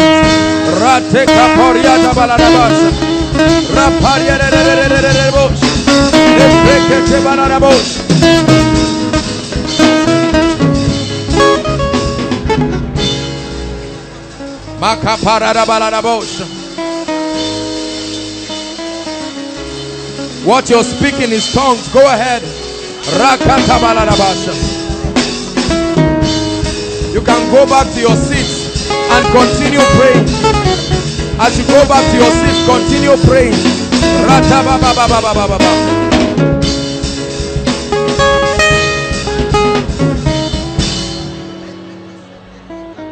Go ahead and pray in the spirit, everyone.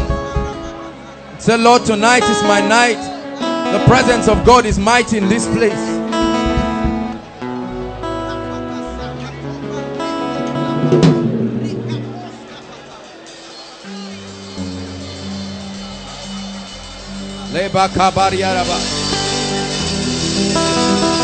To heal, to deliver.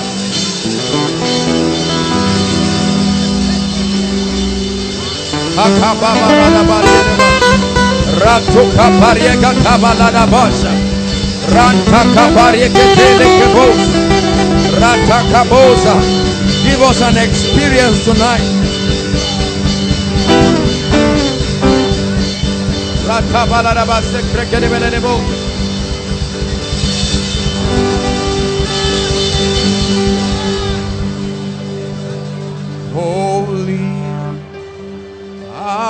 You, Lord. All creation call you Lord. Worthy is your name. Come on, lift your hands and worship Him. We worship Your Majesty. Awesome God. Awesome God. How great thou art. How great thou You alone. Mighty are your miracles. are your miracles.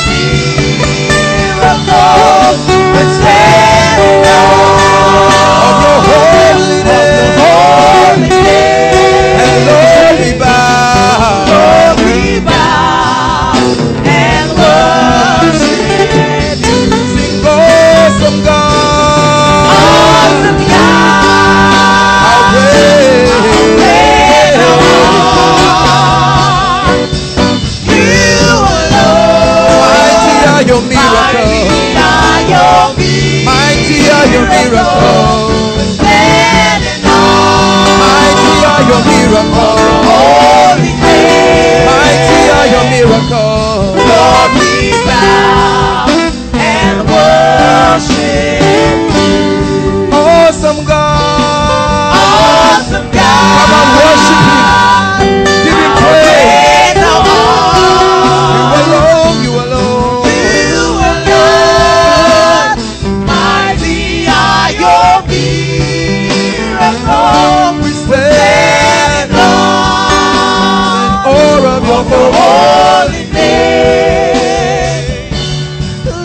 We bow and worship you.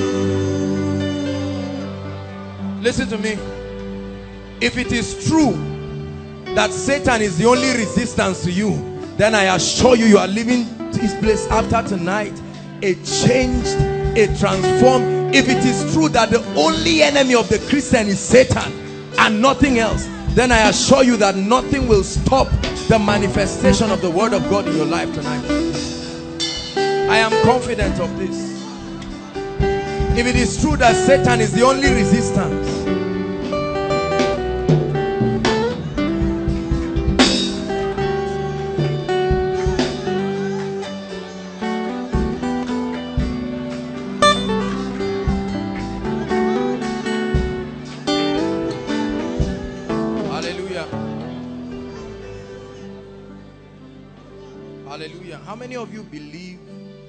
God will transform your life tonight? And how many of you came here with expectations in your heart? You see, one of the most dangerous things to do is to come into God's presence with a sense of familiarity. Because the Bible says that they worship him in heaven and while they are recovering from the experience of he who was, they see who, who, he who. He who was is still carrying a dimension of glory that they have not finished comprehending. and then they see a new level. I tell you something, God will do something in your life tonight. It will change your life in a dramatic way, in a way that you will be shocked. Your finances, in your health, the power of God is so strong in this place. That's why we are taking our time to worship. You must be patient enough to worship God. He's not your mate. Don't let new creation reality make you think God is your mate. You are one with him. He brought you into that experience. You didn't earn it. And so we're taking our time to worship him because he is great. Holy is the The Holy Sea. Worship the miracle worker. The Holy Sea. Forget about your sickness. Forget about any challenge and worship Him. The whole scene, The Holy Sea. creation sing. The Holy Sea.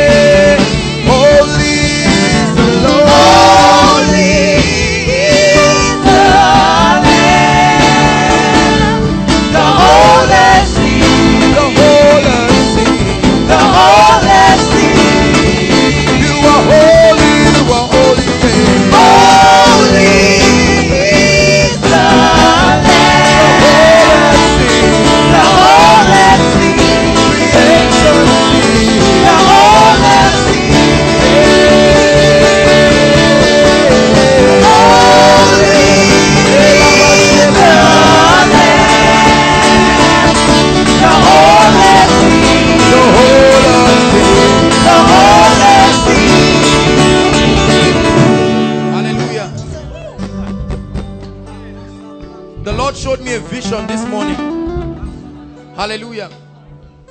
The Lord showed me a vision this morning. And I saw a woman in a labor room. I just got up, I was praying. And I thought God wanted me to pray for a woman who was pregnant. Maybe a woman pregnant somewhere who he wanted to give birth. And I saw a woman. Hallelujah her water had broken she was ready to give birth hallelujah and then i saw it was as though the woman was you know there are medical people you know that there are certain conditions that must be met for safe delivery and it looked as if there were other there were factors that were not yet complete hallelujah and then the lord spoke to me and said release the delivery Ah, yeah. You don't know what God is up to do in your life tonight. He said, For that which I show you in the secret place, declare upon the mountaintop. Hallelujah. Habakkuk chapter 2 from verse 1 it says, I will set myself upon the tower and I will stand and I will watch to see what the Lord will say. I tell you, God has a word tonight. The servants of God came up here telling you the power of God's word. Tonight you are in for an encounter. The Lord has vowed with his name to make sure you don't live the same. Hallelujah. You believe it? You believe it? We're in seasons when your faith must be alive. When you hear the word of God, you receive it. Forget, let me tell you something. You insult God every time you exalt your situations above God. I don't care what you came here with. Let me tell you something. The psalmist and also Solomon said there is nothing that is new upon the earth. Are you listening to me? You're not the first to have a, a cancer or HIV or to be in need of something, a growth or lumps or whatever it is. Or to have curses in families and all kinds of demonic things.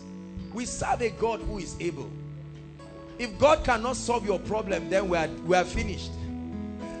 Oh, but He is the one above. Can we sing that song? Yes, Lord. How many of you are ready to sing that song? Hallelujah. Come on, your hands together. Forget about your challenges. Let joy rise in your spirit. Hey, yes, Lord. Yes, Lord. Yes. Lord. You are the King. There is no other. Yes, Lord. Yes, Lord. Yes, Lord.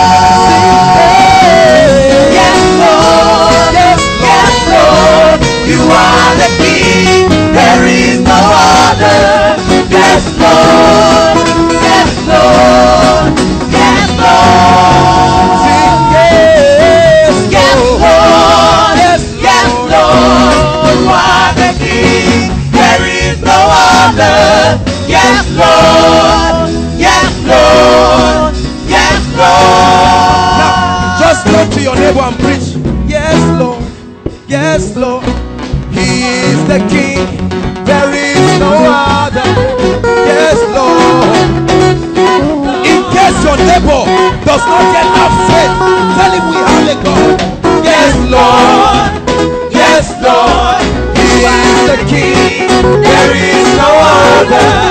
Yes, Yes, Lord. Yes, Lord. There is no. Yes, Lord. You are the King. There is no other. Yes, Lord. Yes, Lord. Yes, Lord.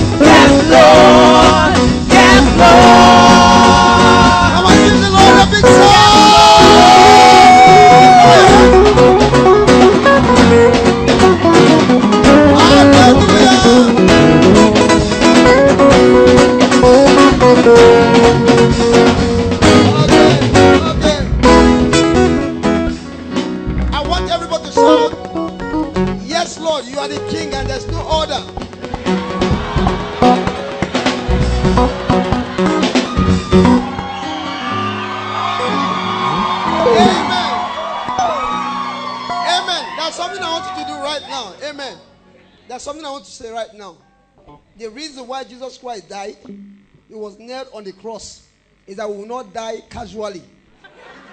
Amen. I don't know how many of you want to die casually. I've made up my mind to live long and to declare the word of God.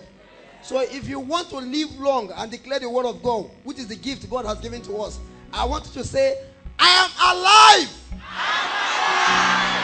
I am wealthy. All things are possible for me. In Jesus' mighty name. Give your neighbor high five and tell the person, I love you. Amen. You may be seated. You may be seated. Amen. It's a privilege this night before I go on. It, it was a setup between me and my and my staff here. I came into Zaria today and I told them, Men and brethren, what shall we do to Apostle Selman? They said, This is what we're going to do. I'm serious. This evening, we went out somewhere to go and get something. I'm serious. That's my testimony. We went to go and get something for you. When we got there, we were taking out the tin. The owner of the place said, I've been looking for you. I heard you've left Zaria. I've been looking for you to be a blessing to you. And as we were picking your own, they were giving me my own. Amen. Amen. Isn't God wonderful?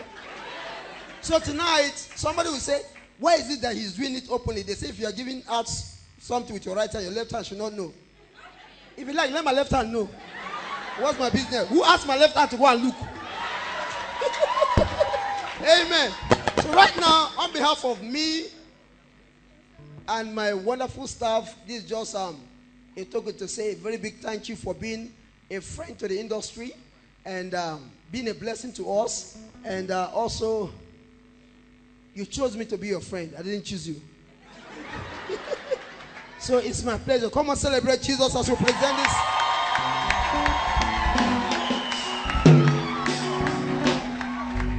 Amen. Men and brethren, that is not your own. Your own is coming. This evening, I want to say quickly that um, we have been a, God has been a blessing to us. And among the few people who believed in me and my dream is my wonderful pastor, Reverend Joshua Tende, and uh, a wonderful one here. Amen. Amen. Early this week, was it this week or last week? This week, I met him in his office. We were just discussing. I told him what the Lord is doing in decent talk entertainment industry. Decent talk entertainment industry is my own God-given assignment. Everybody have their own assignment. Amen. His own is to preach the word and heal the people. My own is to make you laugh and you get healed. Amen. Amen. And I don't take my ministry lightly, no matter what. I take it very serious. And he's the person who has given me the biggest challenge of my life as a comedian. Not just an, a comedian, international comedian, not just international comedian, a gospel comedian, calling me to MC a crusade. How many of you were in Massacre that time? That was my biggest. I, I was thinking, I asked myself, how will he so believe in me? To how? Some massacre people, some of them, Hausa, Kaduna people. If you tell them rubbish, some of them came with their problem, you want to make them laugh. oh God, but I thank God it was a very great time. We had a very great time and I experienced a lot of welcoming from ENI itself, the partners, our brethren over there, the pastors. Come and celebrate everybody. Now, let me say this before I have my seat. He's going to tell us that later. So, this entertainment industry is just four years. That's the industry God has given to me. It's an entertainment industry. But the assignment God gave to me is that we are going to use entertainment as a platform to preach Jesus Christ in all nations. Amen. So we are coming to bring show for you. You are coming in form of show. But behind the show, you go receive Christ and get you the Holy Ghost. Amen. That's our assignment. So that thing has been happening over the place. And we don't just establish, like I um, placed the testimony on Facebook. We started four years ago, but with four years, we have three offices here in Zaria, where I started four years ago, now in Abuja, and now in Sierra Leone, Freetown. We have our office over there. Amen. And the first event we'll be having in Sierra Leone will be October, second week of October.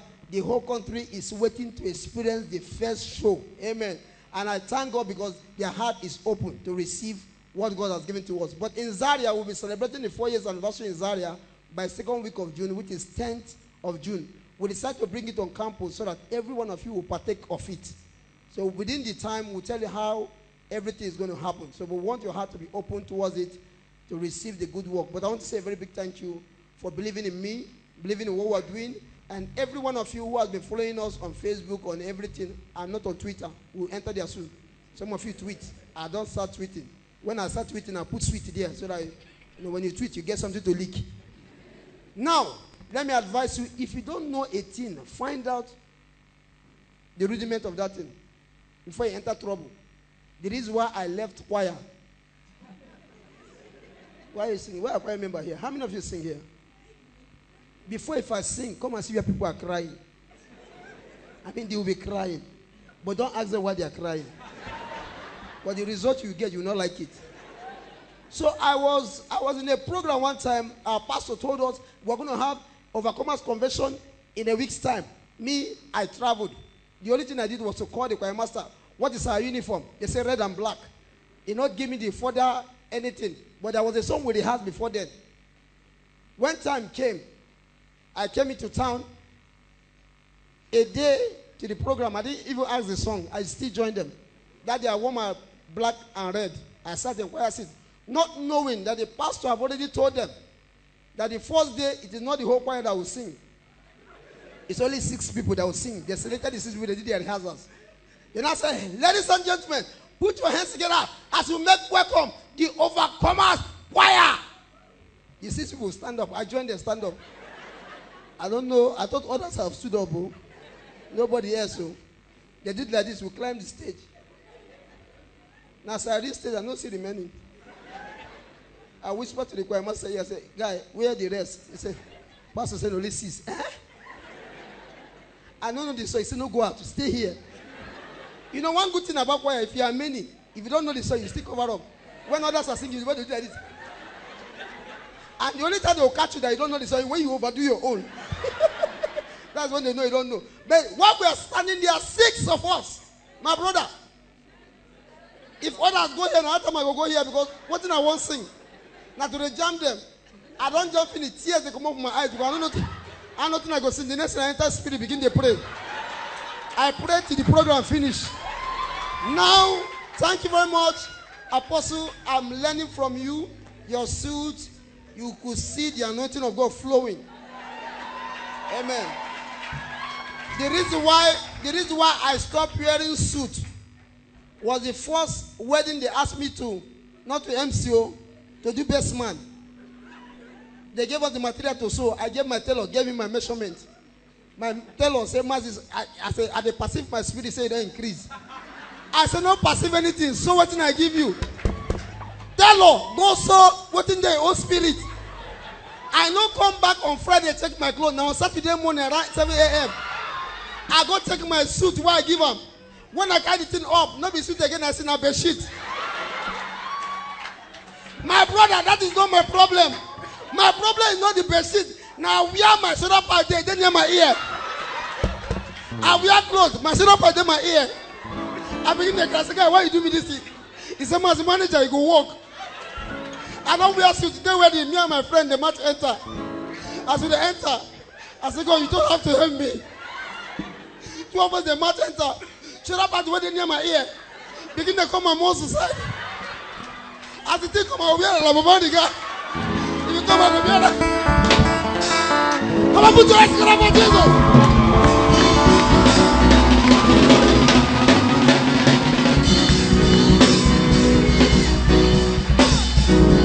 Hallelujah. Ephesians chapter 4 says that he led captivity captive and he gave gifts unto men. I can't imagine myself making people laugh like this. That would be frustration. Mazi, you have this anointing. Appreciate him, please celebrate him. Hallelujah. All right, let's get to the business of tonight. Lord, we give you praise. Matthew chapter 12.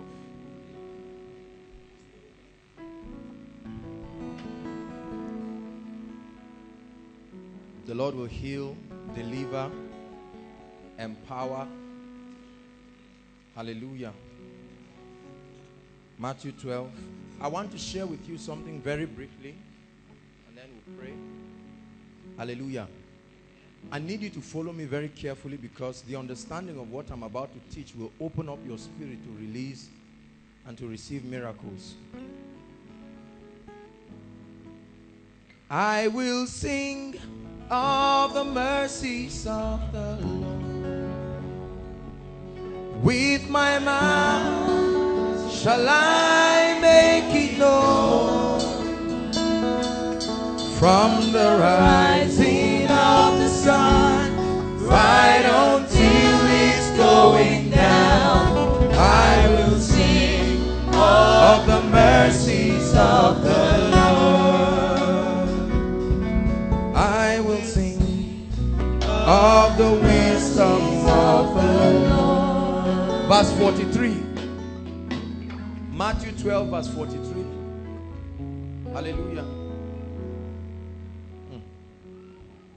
How can you walk when you don't know the way of the way? Allow me sing it to you. Don't sing. It. How can uh, is a question I'm asking you? You think I'm singing? We're about to read a very serious scripture. I'm only converting my question in a song. How can you walk when you don't know the way of the wind? How can you run when you don't know the way of the Spirit? How can you fly like the eagle when you don't know the wind? His power at work in you is changing everything in obedience to Christ. 43. Are you there? Matthew 12, verse 43. Don't have a Bible, make sure you are sharing with someone. When the unclean spirit is gone out of a man, he walketh through dry places, seeking rest, and findeth none. And then he said, I will return into my house from which I came out. This is the spirit speaking now. And when he is come, he finds a serious situation. He finds it empty, swept, and garnished. Please follow me, Christians. Then goeth he and taketh with himself seven other spirits, more wicked than himself. And the last state of that man, who is speaking here? Not an angel, not a prophet, not a high priest.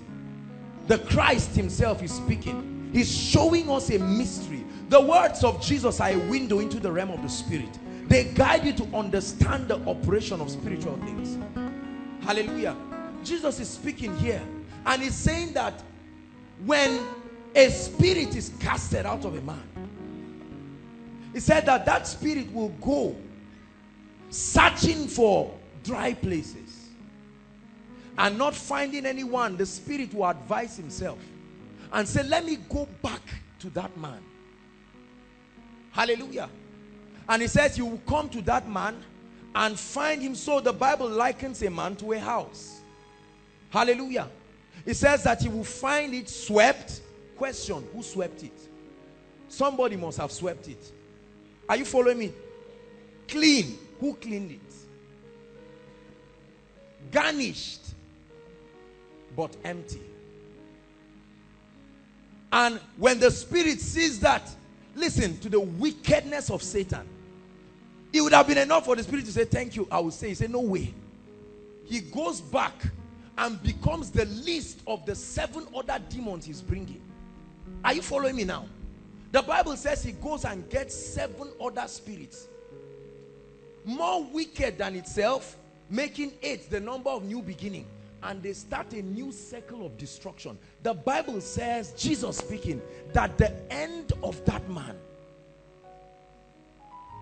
Have you seen believers who experience the power of God, the miracle of God, the deliverance of God, and temporarily seem to have some solutions and they are happy, all to find out that they become worse than they started.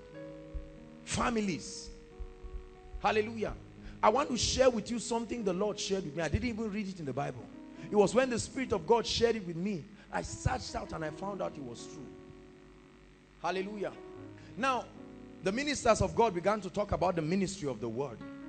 And I need to help us understand something even as we pray. That when the word of God, listen, when a man is not born again, the spiritual implication of that is this. Please, can I have someone? Come, sir. When a man is not born again, I hope you realize that man is a tripartite being. Say after me, man is a tripartite being. Spirit, soul, and body. You are a spirit you have a soul and you live in what? A body. The body hosts the spirit. The soul is the realm of the personality of the man. His will, his emotion, his intellect. Hallelujah. The soul is the connection of the spirit of that man to his body. It is through the means of the soul that he's able to relate both to the realm of the spirit and to this realm. Are you following me now? Now, when a man is not born again, listen to me. When a man is not born again, Spiritual death is not cessation from breathing. I hope you know that. Spiritual death is the absence of the Holy Spirit in the life of a man. The Holy Spirit is what we call eternal life. I've said this again and again. Eternal life is not one box that the Holy Spirit brings and drops in you. The presence of the Spirit of God is eternal life. Moses was standing upon a place and fire was burning a bush and it was dirty. And because of the presence of God, he said, remove your shoe for where thou standest has suddenly become holy. Not because anybody swept the ground. Are you listening to me? And so it's important to realize that the spirit of man outside of Christ, I hope you know that Satan and demons are spirits. Hallelujah. Do you agree with me? Praise God. Now, they have the opportunity. There are three levels. Please listen. There are three levels of the manifestation of Satan in the lives of people. Number one is the willful permission. Is what we know to be what people call witchcraft and all of this. Where someone opens up his spirit willingly by any act of initiation, whether culture and all of these things. Are you understanding me? So all the people in our village that know, they know all the music artists that sell their soul to Satan. I follow me now. They are not trying to, it's not a mistake. They did it consciously. They did it willingly. The way you gave your heart to the Lord, did you do it consciously? You said, Lord, I open up myself. Is that correct? That's how other people have come up to the altar. It's amazing that all, all of them are all done in the altar. Hallelujah. And they opened up their spirit for the manifestation and the manipulation of Satan. At that point, Satan takes complete control of their will. Are you listening to me? Their emotions and their intellect. And they only live as puppets, carrying out the activity of Satan. Day and night, there is a communication between them and the realm of the spirit. That happens to one who is not born again. Are you listening to me? Now, when you get born again, something happens. The Bible tells us that there is a translation from the kingdom of darkness where Satan and his rule and his reign is into what? The kingdom of light, the kingdom of God's dear son. Are you following me now? And now what that happens is that by the act of new birth, by the shed blood of Jesus Christ, something dramatic happens. The Bible makes us to understand that on account of the finished work of Jesus Christ, are you listening to me? On account of the finished work of Christ, the Bible makes us to understand that your spirit becomes regenerated. Are you listening to me? Your spirit. What does that mean? There is a cutting off with Satan and everything as far as your spirit is concerned. Are you following me now? Now here is the error in the body of Christ. And I want you to listen and listen again. I speak this not in an attempt to make a boast or anything but let me tell you something I have been caught up in the realm of the spirit many times. And so the things that I tell you they are not just things I read in the Bible. There is a difference between what you have read and what you have experienced. Are you listening to me? Now do you realize that a believer can no longer be possessed with a demon? Are you listening to me? Because light and darkness cannot dwell in the same place as far as your spirit is concerned.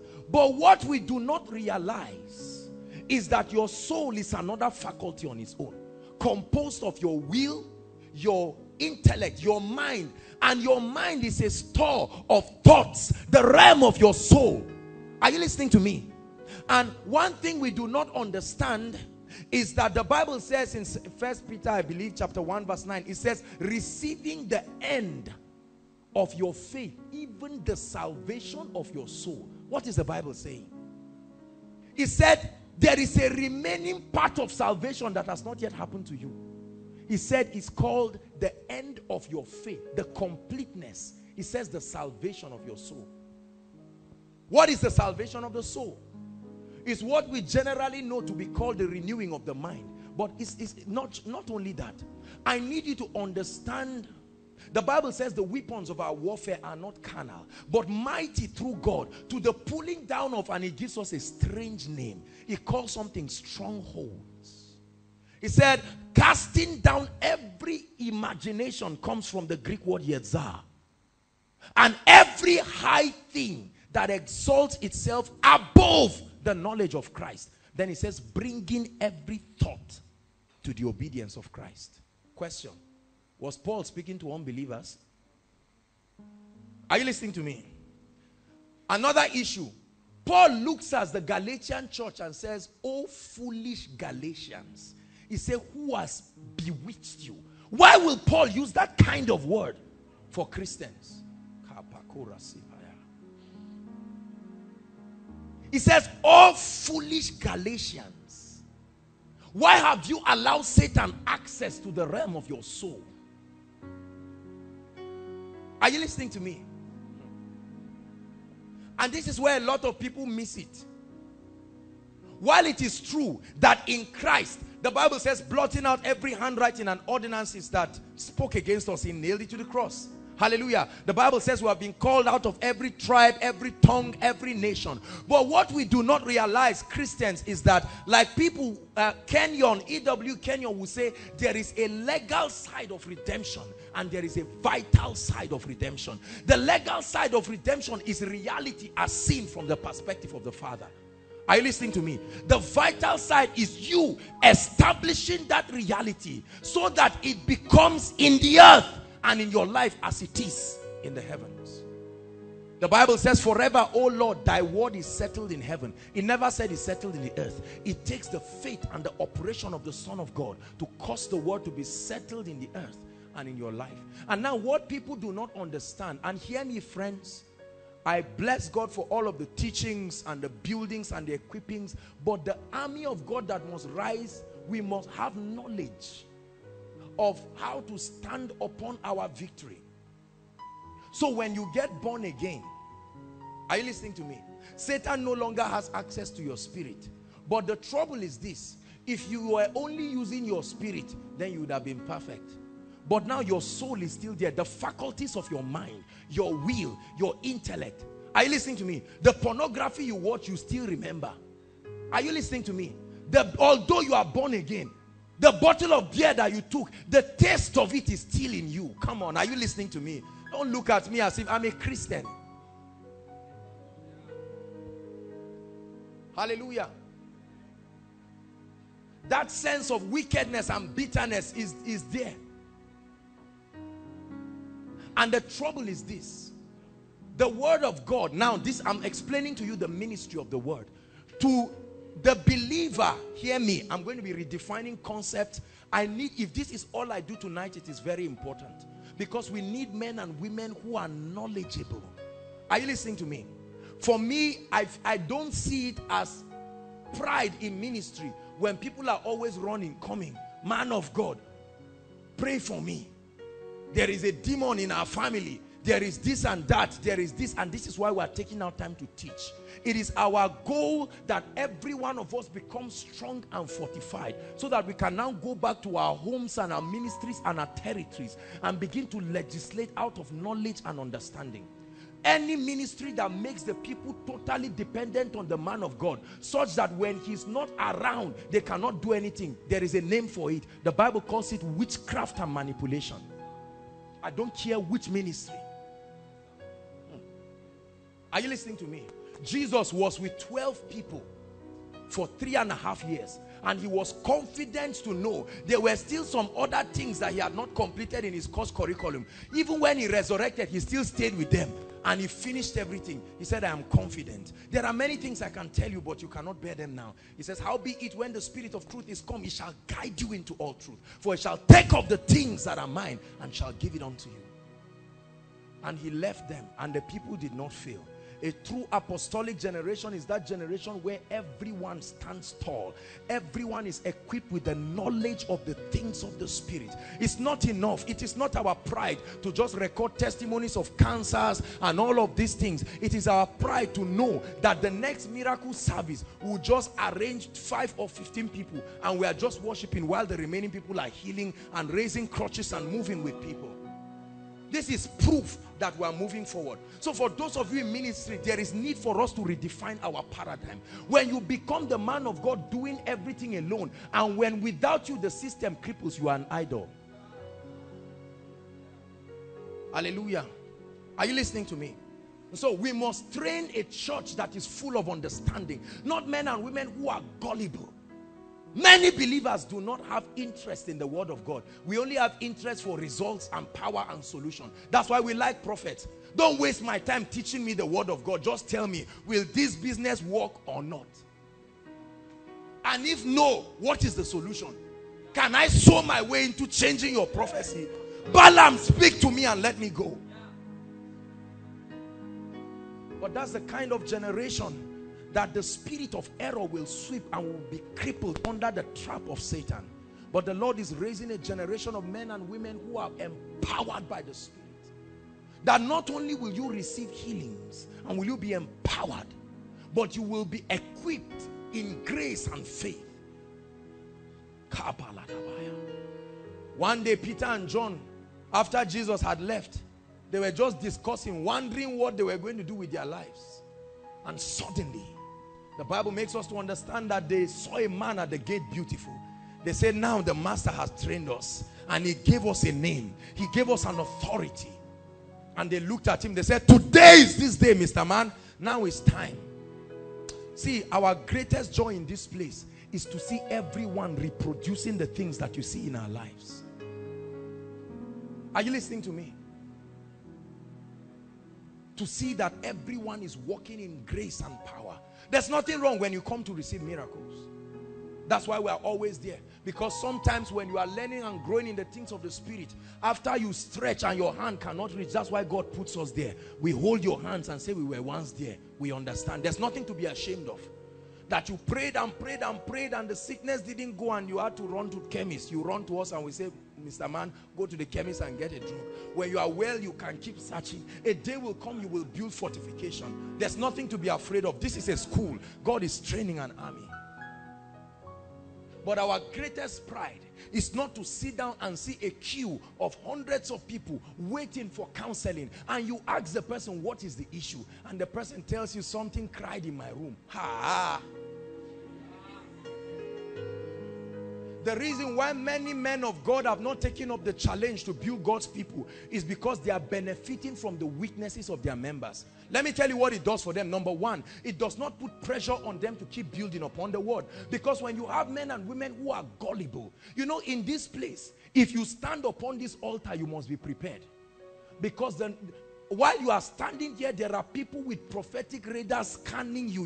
When you are standing upon this altar, you must confess your sins, do everything you need to do before you stand. This is not the kind of altar that you just stand and shout. No, no, no, no, no. Somebody might be sitting but standing from a mountain. God has been equipping us. He will watch you make your pride and do your error. I thank God. You see, let me tell you something. This altar here is not all you see. It's high. If you stand here, you will know you will shake up and down in the spirit until every flesh shakes out of you. Because when you look at the sensitivity and the perception of those listening to you you know that you cannot teach them error. And they nod their head gullibly no sir. And this is what we are achieving. We are not raising arrogant people. We are only raising men and women of understanding so that when you go somewhere somewhere and everybody say run and everybody come and lick the man of God's leg and see everybody going like a dog. Gullible generation no knowledge and understanding. And even when it is truly God that has said that you will have a confirmation in your spirit that although this is a a stupid experience but then God is in it. Are you listening to me? And so I want to teach us the ministry of the word. Because on one side, we have believers saying once you are born again, that's all. There's no business with Satan. You are refined, you are in Christ. Satan, you are seated up. Satan does not have a place in your life. But the people are dying. They are still seeing causes follow them we can pretend it and paint ourselves and speak in tongues in church and jump up and down. Your brother didn't get a job. You didn't get a job. Your sister didn't get a job. What do we call that? You may not want to call it the name, but what is it called? Are you listening to me? And you are born again. You are filled with the Holy Spirit. You are not married. Your brother is not married. You have refused to say in the name of Jesus, nothing is wrong with my life. But you are seeing the same thing. There is a, a thin line between stupidity and faith. The difference is knowledge, understanding, and light. Are you listening to me? And then on one side, here we have people always talking about Satan, always talking about deliverance, always talking about the strength of Satan, talking about everything level this, this, this, level 777. And they say, I met one demon. Do you know how strong Satan is? And you see us come. I mean, we just imagine it. And people put graphic images in their churches with Satan having the horn. And when they talk, you are even shaking in the church. They finish teaching you about Satan and all of these things. And we have believers who are always thinking about Satan. So where is the balance? Because in both faces we see the power of God. Let it rain. Let it rain. Open the floor of heaven. Hallelujah. Now watch this. The moment you get born again is your spirit man listen to me. This is why is there are certain people that because of the impact of the experience of their new birth, they get born again, they fall under the anointing, they get filled with the Holy Spirit, they begin to pray in tongues and even lay hands on people and they are healed. Are you listening to me? And then what happens? The men of God who do not have discernment just look and they call the person and say, you go and be a head of our ministry somewhere and you do not realize that this is a babe by every standard. The gifts of the spirit is not equivalent to spiritual maturity. It takes a walking with the spirit. It takes an activity of the word of God and this is what we are teaching. Tonight is miracle service. The miracle is happening to you. No no no. The first miracle is not your your body is children's bread. We are coming to that. Are you listening to me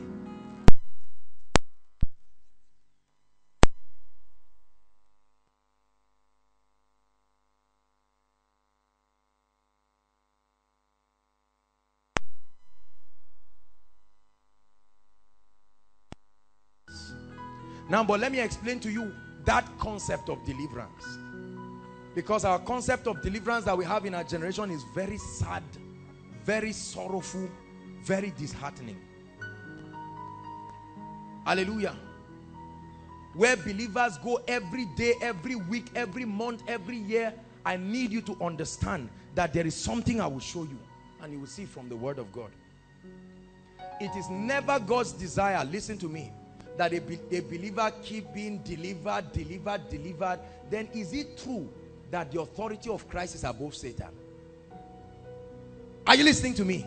However, you will need it all the time until you listen to the remaining part of my teaching. Are you listening to me? The Bible says the word of God begins to bring deliverance. What is deliverance? Deliverance means you are separated from things. You are separated from mindsets. Are you listening to me? You are separated from strongholds. Be deliverance is not all about falling and manifesting and foaming in your mouth. There is an instant when we begin to pray now. For some, some of you are sitting down quietly, just minding your business. When we begin to pray, some of you not know when you are out here rolling on the floor. You see, you don't even know what is wrong with you, but you are born again and you are tongue talking. The word of God does what we know to be deliverance. It separates you. It builds you. Are you listening to me? It begins to break your mind from the ordinances of the past and the things that give Satan access to your life. Jesus speaking says, Satan cometh to me and does not find anything of himself. That means for as long as Satan finds some things that belong to him, he has legal access to your life. Are you listening to me? Jesus said the condition for me to defeat Satan and death is that he does not have anything. For a kingdom that is divided against itself shall not stand. And so while you are born again, you are filled with the Holy Spirit, you're walking in life and power, your mind is not renewed. That's why one day you see somebody who loves God. A pastor, after preaching and doing everything, he just runs to his room. After praying in tongues, he spends three hours watching pornography. And even him, he doesn't know what is wrong with him. And he's embarrassed to admit that there is something torturing his spiritual life. It's easy to come out and wear suit and just stand and speak. But we all have the things that lack of knowledge has brought into our lives. That humility, that's why the Bible says you must receive the word of God with meekness. Because sometimes it will need to redefine your philosophy and break you out Bible says strong meat belongs to them who by reason of use have attained unto full age and have exercised their spiritual senses in order to discern between good and evil. We have a very weak generation of Christians. This is why Satan can ride through churches.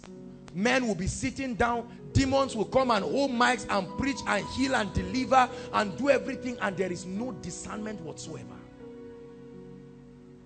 Are you listening to me tonight? So the first ministry of the word in your life is deliverance. This is the reason why, hear me, you break away from all the access points that Satan has in your life. There are two ways that Satan can have access to a man's life. Number one, what we know to be covenants. Number two, ignorance. That's where we have things like um, inheritance, family curses, and all of these things. Now, I need you to know that these things are not fake.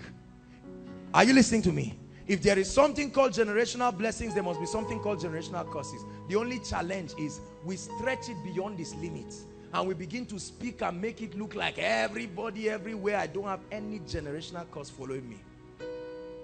Although there is, because I've seen it in the life of others. Are you listening to me? The word of God separates you. So by the build-up of the word, what happens? All of the demons and the strongholds that are gaining grounds in your life, whether by direct encounter with the power of God, such as a miracle service like this, are you listening to me? Or the intake of God's word. All of these demons and strongholds, listen to me, that have stayed in your, that have gained access to you, whenever they leave this is where many believers miss it out. The bible says that demon leaves and he goes round and comes back and does what? Finds the place swept clean. And the bible says you are only clean through the word. So that means there is an operation of the word that made that man that clean But what we do not realize is there are two faces to the word. One is as a weapon of deliverance. He sent forth his word and his word healed them. The sent word heals and delivers. But when the word of God is taught, it edifies. What is edification? It builds up spiritual fortification. Are you listening to me? So that now you are not only clean through the word, you are empowered. And according to Colossians chapter 3 verse 16, it says, let the word of Christ dwell in you in all richness. So that whenever Satan comes, he will not find access in your life again. There are many believers who go for deliverance, fall under the anointing, roll up and down, foam in their mouth and get up. And they say, thank you, Jesus. Lord, we give you praise. And the demons come back again and they still see themselves worst walking in the things and they say ah i was healed. I'm sure i was healed. I was healed. I mean i know. But now i'm seeing the sickness returning again. Of course because there is a fortification. Are you listening to me? It's not enough. That's why we take three weeks in a month to teach the word. Are you listening to me? And then what miracle services like this we allow the power of god to set free, to heal, to deliver. Let me tell you something. If all we will do in koinonia is receive, prophesy, we will have a generation. You will receive results because it's the sent word. But the sent word only heals and deliver. The sent word does not equip and build. The sent word is sent on a mission. It, it accomplishes what it was sent to do. And there is the word that is sent to accomplish and return back. There is the word that is sent to stay with you. If my word dwell if if you dwell in me and my words dwell not go and return. There is an operation of the word of God that is meant to stay with you so that as you are full of the word you become like Christ in power and authority and grace and there is a spiritual fortification. And at that point you can speak that yea though I walk through the valley of the shadow of death I fear no evil. Why? For thou art with me thy rod and thy staff. He comforts me. At that point you become full of the word and you don't need to fear all these devils and witches and wizards again and so it's not enough for deliverance to come it's not enough for you to be healed. It's not enough for you to be free. It's not enough for you to say, okay, there are curses and things that come from families and God is breaking you free. It's not enough to say, I'm born again. You must invest in the word. That's why it's important to find your, let me tell you something. And I say it with every sense of seriousness. If you find yourself in ministry where all you receive is prophecy, prophecy, prophecy, you are not going to grow. Are you listening to me? You will receive results, dramatic and fearful results, but you will never grow into spiritual things. The word must be taught. To send it means to declare it as it is. The word performs its operation. But when it is taught, we teach you the principles of the kingdom that empower you and equip you to stand. Hallelujah. The teaching ministry is the hope of preparing the army of God. Without a teaching ministry, we are finished. What is another name for your lecturer? What does he do? He spends four years expounding, teaching you principles. That's the reason why you can have a university 30, 40 years. And every time you graduate a student, say from engineering, you have certain expectations because he has been taught. These are principles. Church of the Most High, I need us to arise and realize that without the word of God seated in our spirits, we will keep going back.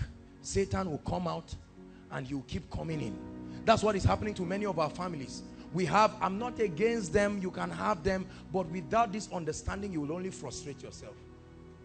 We have monthly deliverances, weekly deliverances, all kinds of deliverances. And the truth is, most of the people are not interested in growth. They are just interested in results. And since they told them that is this witch or that wizard that is stopping them, every time we go to meet a prophet, we just want instant solution. That's why many people are not interested in teaching ministries. It takes an unusual grace of God to keep a crowd to listen to the word. Because when crowds come, they come out of their lust and selfishness. Not many people are interested in growth and for the power of God to touch them. You want a man of God that just comes up and says, everybody stand up. And he say, lift your right hand. Bring a, a white handkerchief, a red one. If there is not, we have it here for sale. Are you listening to me? And by the time we like we like instructions, not because we love God, we want quick things. We we like by cutting processes. So all of you who want husbands, quickly run, come and drop 1,000 naira and then I will pray for you. You can drop the money and fall under the anointing and roll and go back to your seat. You will never get consistent results. So we have programmed ourselves to depend day and night. And we have a lot of men of God who look and they call you. They call some of our fathers. Bring 30,000 and say, not. He say, I will shut the heavens over you and your business. And the man is running.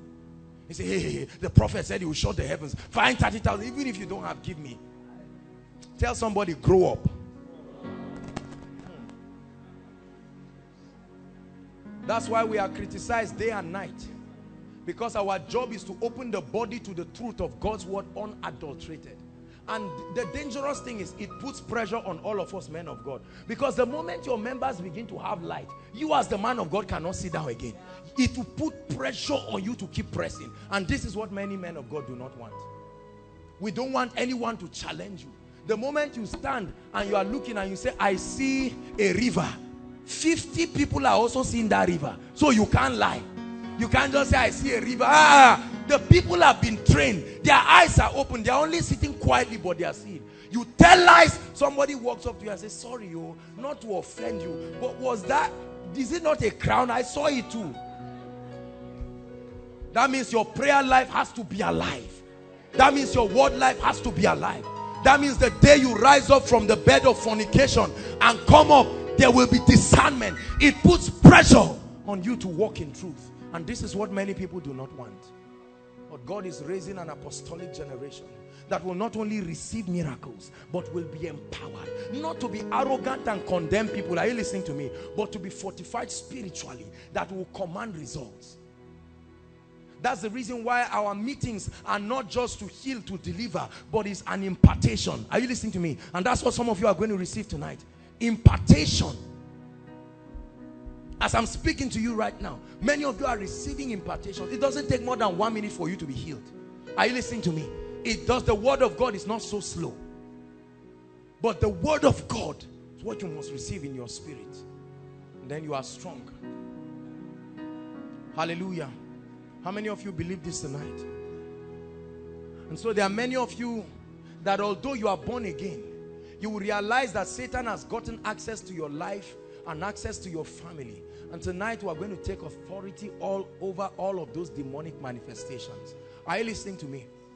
That everything that has delayed you by the power of the word of God, we will push you forward prophetically. Hallelujah. That you will be fortified with the word of God. That you will go and now be the miracle worker. You will release the miracle in your homes. Are you listening to me? that many of you tonight will encounter an anointing that will cause you to so prosper and you will begin to make others prosper by reason of that anointing. That many of you will encounter an ability of the spirit, discernment. You stand in your house and the Lord begins to show you things. This is what we. And for all of you who came here with every kind of sickness, I want you to know that there is a devil behind it and that devil is going to leave you. Are you listening to me? looked at the woman and said, Woman, thou art loose. From what? What did he see? Said, Thou art loose from thy infirmity. There is a wicked spirit called the spirit of infirmity. And the light and the power of God's word comes to bring you miracles. How many of you desire to walk in greater levels of his anointing? Because there will be an impartation in this place. In one minute, I'd like you to rise up on your feet and pray.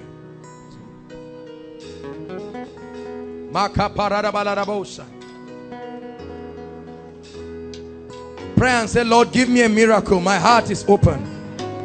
All of you who are sick, now is the time for faith to be released in your spirit.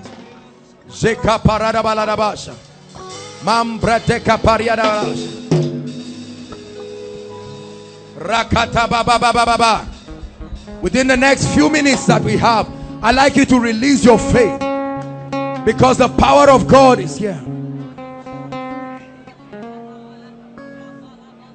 Rapataka paradarabosa. Lenda baziketea. Rate bazikelebosh. We hail you most high.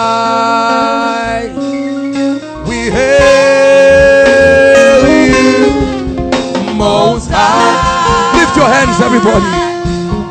We hail you most high. We hail you, Lord. We hail you most high. We hail you, Lord. We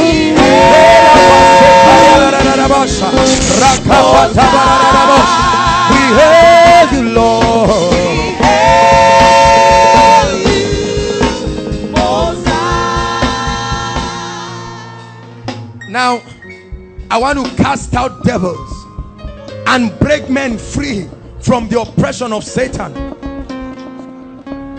The power of God is so strong in this place, and inside and outside. Ushers, please, I want you to help. Hallelujah. As I begin to speak, the power of God will come like a mighty rushing wind, and it will blow. Ushers, let me have those people.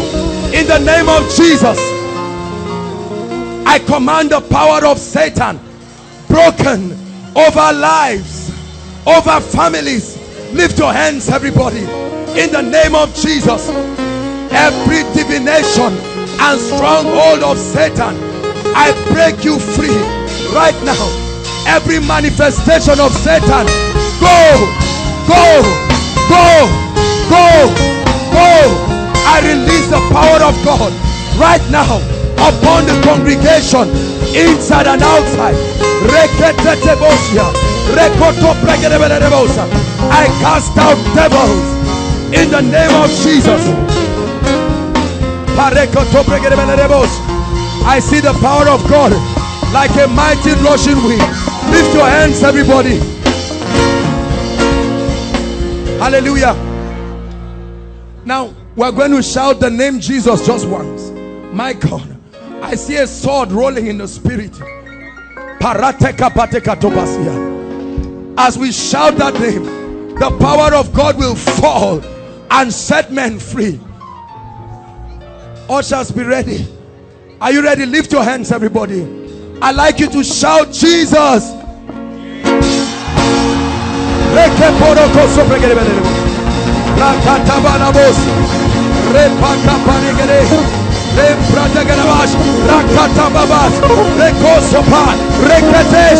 Bring them out.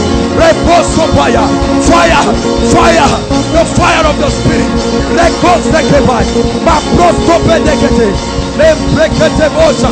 Ratosotopaya. That fire upon you. That devil is a liar. Rekotopreketebo. Mekoposotaya. Reketetetetete. Inside and outside. The fire of the spirit.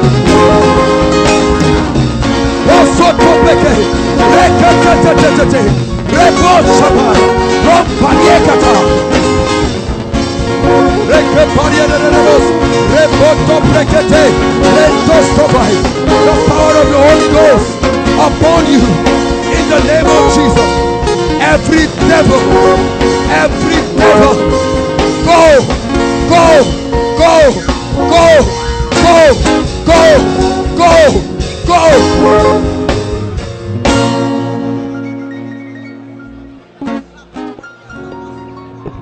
Wherefore God hath so highly exalted him and given him a name that is above every other name. That at the mention of the name of Jesus. This lady. That devil, you know my voice. Out of her right now. Come out of her. Come out of her. Come out of her. Please bring this lady. The power of God is still falling inside and outside.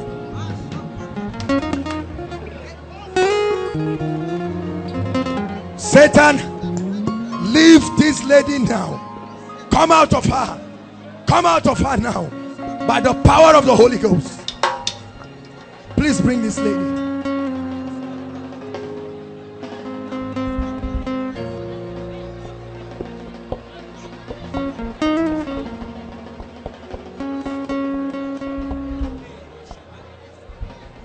You will not find a place even in her family. Therefore, Satan, go. Go. Come out of her right now in the name of Jesus.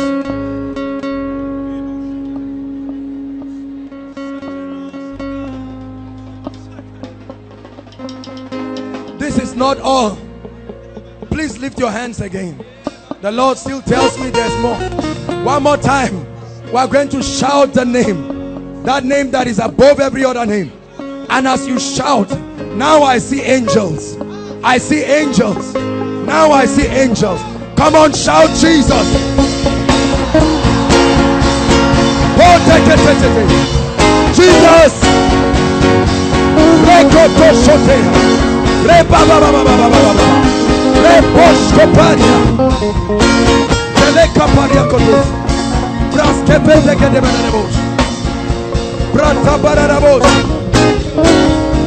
Bring them out. Bring them out.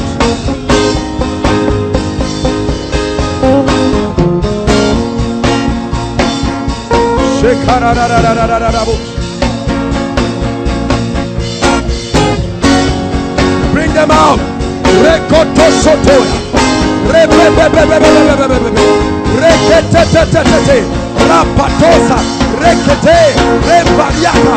Raposcopriata.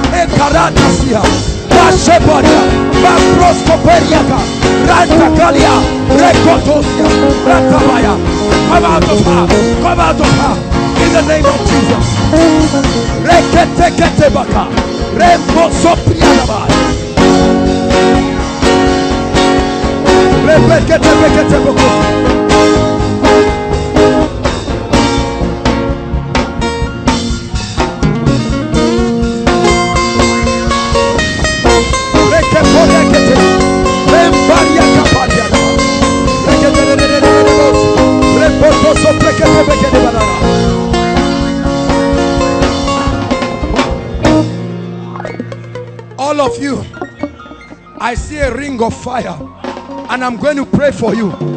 As I pray, the fire of the Holy Spirit will set you free. In the name of Jesus, whose I am and who I serve, every devil here right now, go, come out of them, come out, come out, come out, come out.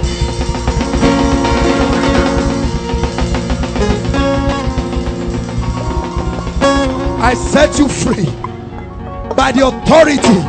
I break you free from covenants. I break you free.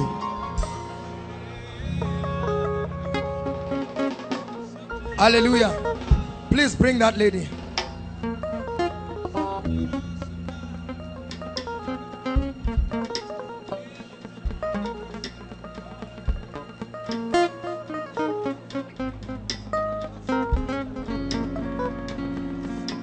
Oh no, you cannot stand the presence of God.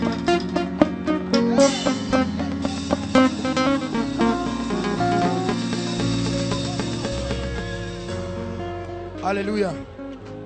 Hold on. Satan, your reign ends. Your reign ends. Leave her alone. Your reign ends. Leave her alone. Let her go. You are free. You are free. You are free. Hallelujah. Now look at me. The Lord is showing me the vision of someone in this place. I don't know why God is flowing like this, but please let's just follow him. Time is, well, we'll have to really hurry up.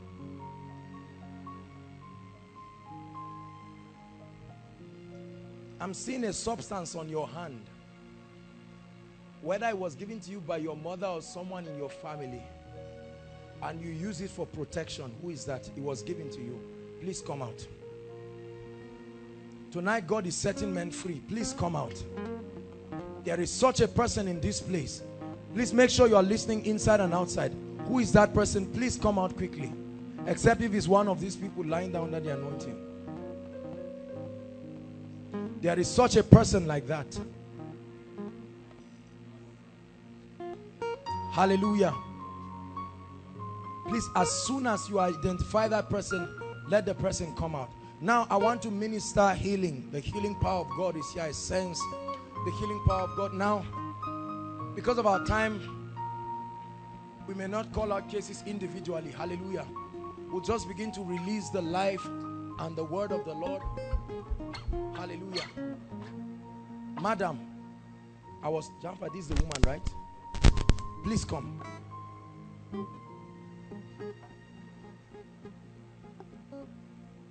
What is the problem? Mike, please. Okay, praise the Lord. Hallelujah. I've been having pains in my my spinal cord down. Cannot walk well. You cannot walk well. I can't bend down. I can't lift anything from the ground. What led to it? It was just pain that started on my Just hips. pains. Yes, You believe God will set you free. yes. That's why you came tonight. Yes. You have faith yes. that the Son of God will set you free. Yes. Yes, He will. Amen. He will. Amen. What is this on your neck? Uh, they gave me from Shika. They gave you from Yes, Shika to aid you. You believe God is going to set you free. Yes. Thank you, Lord Jesus. Thank you, Jesus. The spirit of infirmity.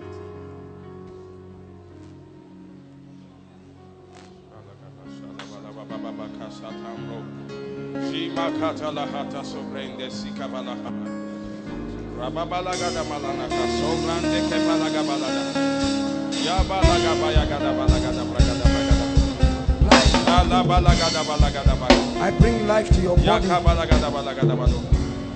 I bring life to your back. Right now, the power of God flows through your body. In the name of the Lord Jesus, the power of God. New spine, new healing. In the name of the Lord Jesus. Madam, the power of God is on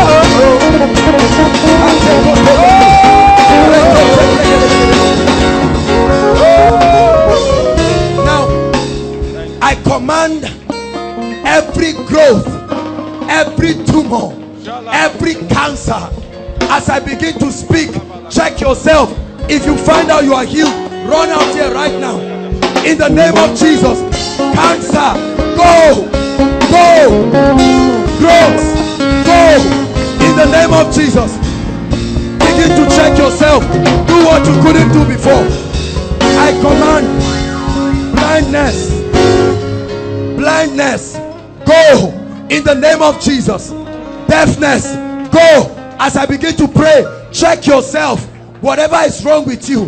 There are some ladies with menstrual issues. I command let your flow resume now in the name of jesus. Migraine has just been healed. Please check yourself. As soon as you are healed run out. We don't have all the time. Migraine be healed now. Check yourself check yourself check yourself. God is giving miracles ulcer peptic ulcer right now i release the power of god. I command healing for peptic ulcer. Receive it in the name of jesus. Receive it in the name of jesus.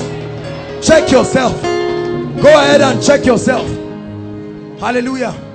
Now there is a lady with breathing problems. You came here with breathing problems. You can't breathe well. Who are you? It's time for your miracle problems. I hope those outside are hearing. Can they hear? Breathing problems. Who is that breathing problem? Sometimes you have to gasp for breath. Please quickly let's save time. Hallelujah. Now everyone who is in need of any kind of miracle any kind that you came here with there's no time to mention all of them you're going to shout i receive. That's what the lord tells me. Three times. The third time celebrate god and begin to do what you couldn't do. If you find yourself healed i'd like you to come. Maybe we can take one or two testimonies. Are you ready to shout i receive it's an act of faith. In the name of jesus go ahead and shout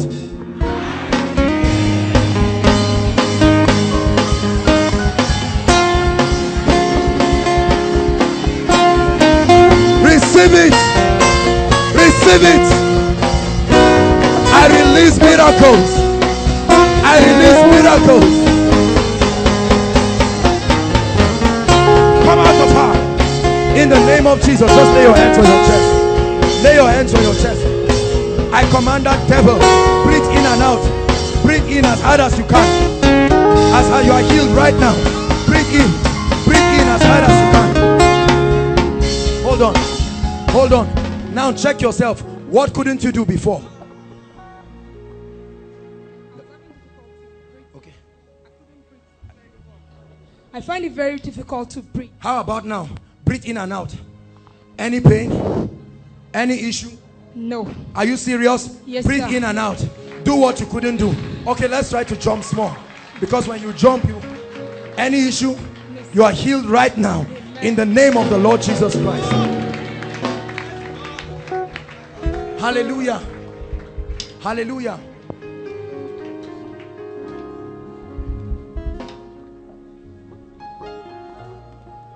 There's someone i'm seeing one side of your ear. You feel like water. You don't hear very well with it. Who is the person? One side of your ear. Quickly run.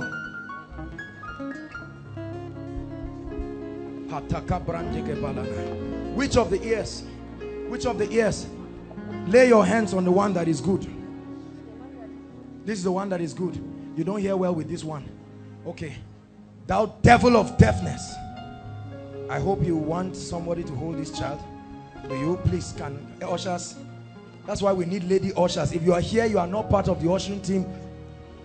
Sorry, boy, your mother will get back to you right now. In the name of Jesus, I command that devil of deafness. I command your ears be opened now in the name of Jesus. Now cover this. Say Jesus. Can you hear me? Say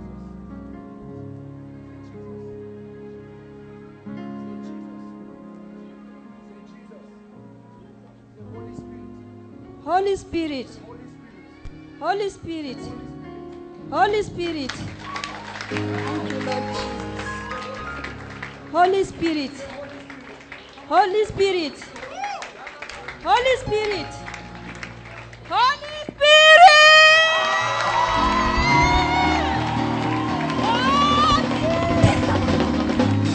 perfection. The ear has opened. She couldn't hear with this ear. Stand up madam. Which ear couldn't you hear with? Are you hearing right now? Close it. Are you hearing? Tell us your testimony. Very well, sir. okay. Close your ear Before I couldn't hear with this ear. go ahead talk I let her cannot talk hear with this ear. okay When there's any phone call, I will have to put it on uh, loud voice before I will answer the call because of the pains of this this this side. Sometimes the right eye of my right side will be bringing out bringing water. water. yes i see it The but now that devil side. has but gone now I'm free. I don't hear any pain.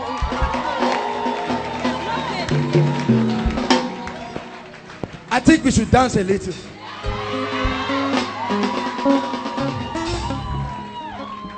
are you ready? Just just transpose and let's.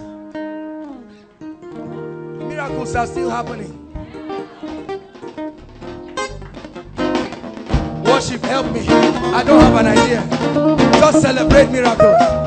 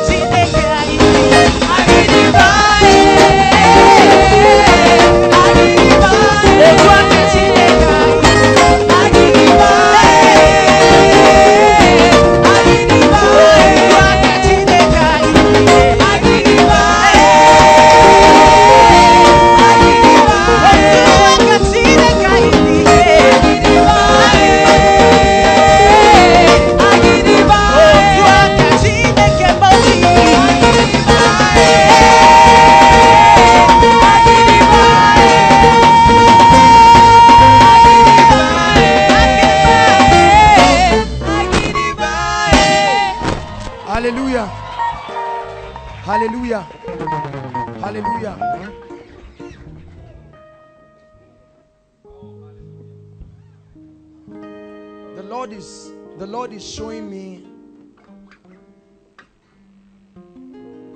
I'm hearing the name Rekia. Rekia. Rekia. That's the name that I hear. Rekia. Please come quickly. Rekia.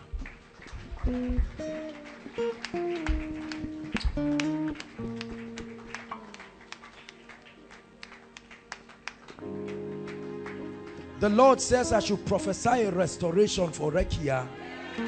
That's what the Lord says I should tell you.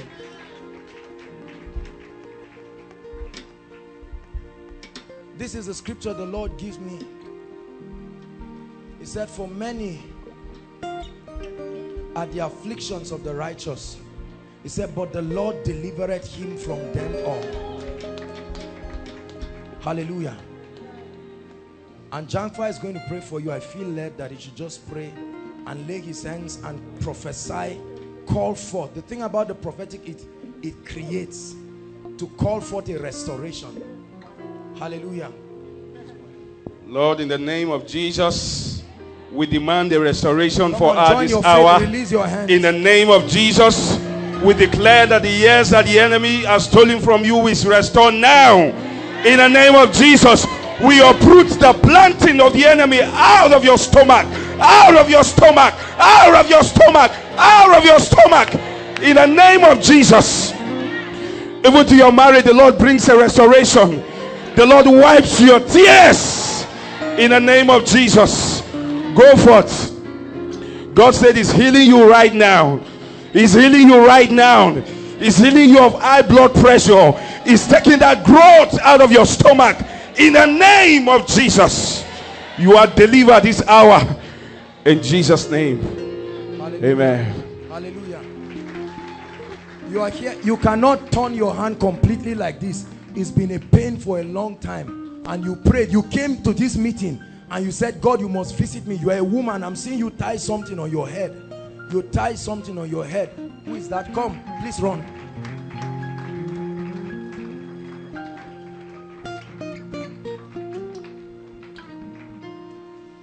Of the hands?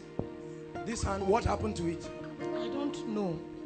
Satan, I command your power broken over this hand. I release the anointing of the Spirit. What you feel is the fire of the Holy Ghost going around your hand. Let her be free right now. Right now. Right now is the power of God, the anointing of the Spirit going through you. You are free. Madam, look at me. Say in the name of Jesus, In the name of Jesus. I am free. I am free. Now wind your hand as wide as you can. Go ahead. Don't think about it. Go ahead. Total freedom. In the name of Jesus. Hallelujah. Could you do this before? No. The Lord heals you right now. Yes. In the name of the Lord Jesus Christ.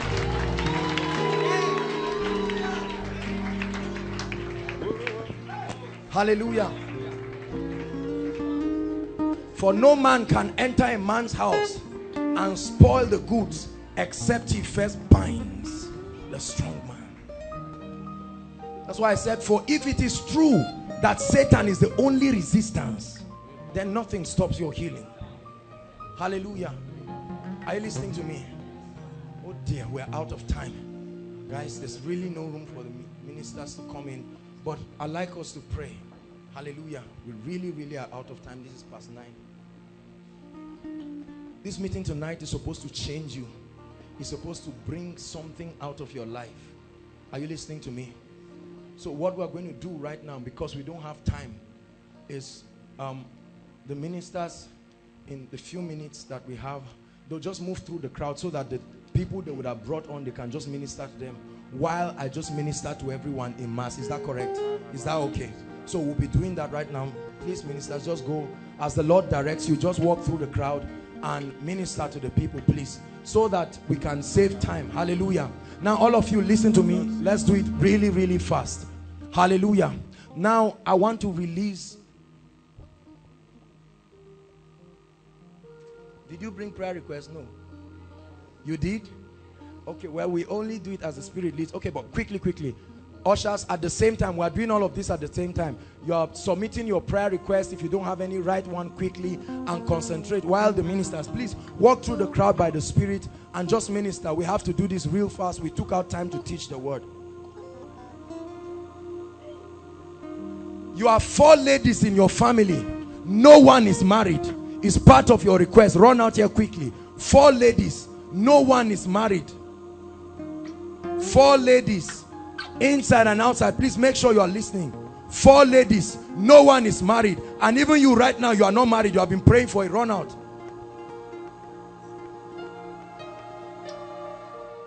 You came here for God to give you a miracle. You believe that? You believe God gives you a miracle? I want you to know that God will terminate everything that looks like delay. Any other person, please come quickly. Hallelujah. The Lord himself.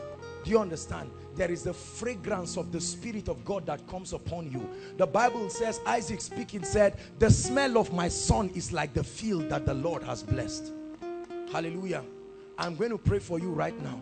I'd like you to believe by the faith of the Son of God that God himself is going to terminate. You will be very surprised. It will look like magic. It's the power of God. Are you listening to me? If you go to a native doctor in, where did they, where are the people in Zaria? Where did they reside? In Zaria city. And ask him, let me tell you, he will do some incantations for you and you'll find out that you are married. But God himself is mightier than any man. Are you listening to me? Thank you, Father. Lift up your hands, all of you in front. Lord, I command that manifestation of Satan over your family to be gone. I see a lot of oppression in your family. Come, please. I need a lady. I need a lady. Any come, come to the front, please.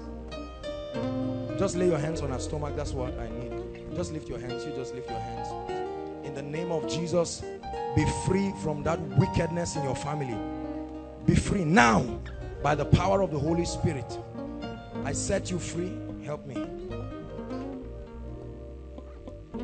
In the name of Jesus Christ, be free now by the power of the Holy Spirit. Be free for your family. Right now, we command supernatural marriages by the power of the Holy Spirit. In the name of Jesus, supernatural marriages by the power of the Holy Spirit. Supernatural marriages for everyone in the name of the Lord Jesus Christ. Hallelujah. Hallelujah. Please write it quickly because we want to do an impartation now. And there's still an announcement. Please don't be quick to go. There is a very important announcement we must communicate. Hallelujah. Write your prayer request quickly. Want to do an impartation so that you don't fall on someone writing this. I don't know how hungry you are for more of the anointing of the Spirit. Are you listening to me? I don't know how hungry you are. The ministers are ministering to pastors. Sam. The ministers are ministering to people. There's no time. Oh, okay. You receive it too. Or you received the anointing and you were touching her to do it for her. Okay, go ahead. Pray for her. In the name of Jesus, we declare the power of the Holy Spirit through you to her. In the name of Jesus, healing and perfection. And may that anointing not leave you. From today, look at me, I'm prophesying to you. Any lady you lay hands on, you will release supernatural marriages and restoration. If you believe that, lift your hands. Because you have stood in the ushering department, I command that this dimension of impartation comes upon your life. You will see it happen and you'll be surprised. Name of Jesus Christ. Hallelujah. Worshippers, are we ready to pray? Worshippers, I think you should receive something to hold your hands together. Hallelujah.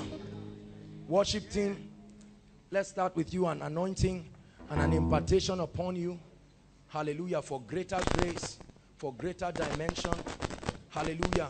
I'm just going to walk. There is an angel I see standing close to me that brings the anointing of the Holy Spirit for you people. Hallelujah. I'm just going to walk and stretch my hands and I see the power of God. I see Steve Strings. The Lord tells me you are stepping into a strange order. A strange order. Hallelujah. Worship people, are you ready? Please just lift your hands as I move in the name of Jesus. Let that anointing flow to you. Let it flow to you. Let it flow to you. Every one of you. Let it flow to you. Steve, let it flow to you. Mike, let it flow. Sheye, Tosin, go ahead. Yinka, everyone. I release it. Receive it now. Now by the power of the Holy Ghost. Receive it now. An impartation. You begin to sing like angels by the power of the Holy Spirit. There is an activation upon you in the name of Jesus, we release this anointing upon the Koinonia worship team. You begin to function in an order of power. Your worship begins to take the house to a new level of grace, a new level of power. Every worshiper in the crowd, this anointing touches you right now. Everyone, please put your hands down if you are not singing. Every worshiper, now I release that anointing. If you are a worshiper here, lift your hands. Let that anointing flow right now to every worshiper I command new songs. Come out of your spirit man. Come out of your spirit man. New songs. Retaka bandia. Agrite kebosoto bandeka pariaka rekete sekeya repanda zata. Ekarieka tabasa. Mapareke posupaya. Everyone in the ministry of worship I stir it up. This fire this anointing. Parikete gotopataya receive it receive it receive it like a mighty rushing wind inside and outside. Parekete bokoto pakasa, ranta baka bariakatai. a new order of worshippers a new order of spiritual people. Outside I see the anointing of God flowing on some of you outside. Outside through the window I stretch my hands. Let the anointing hit every worshiper. Now now now now now.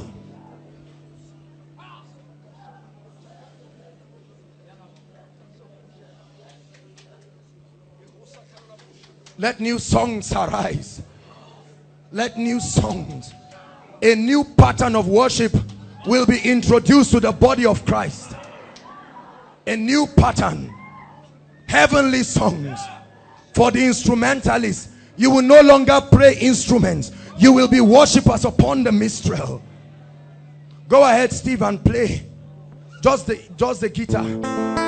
Go ahead and flow.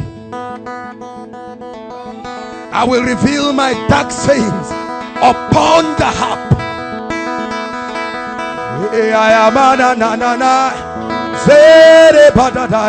Mass impartations.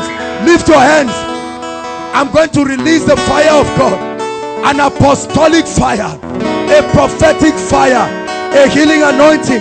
Get ready. Lift up your hands. Now. Receive it.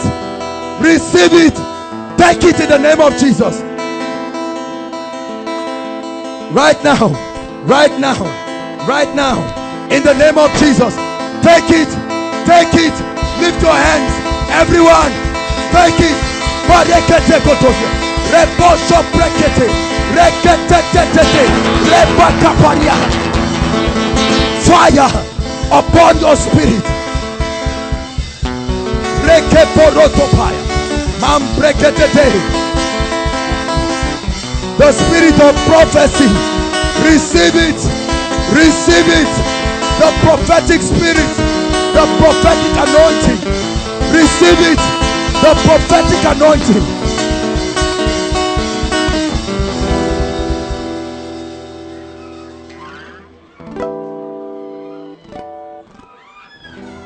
After the count of three, the spirit of prayer and supplication will fall upon the house. Prayer lives will be activated right now. At the count of three, one, two, intercessors, arise, arise, arise,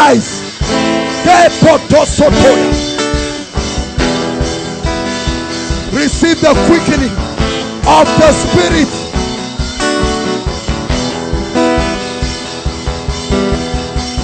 Receive quickening upon your spirit man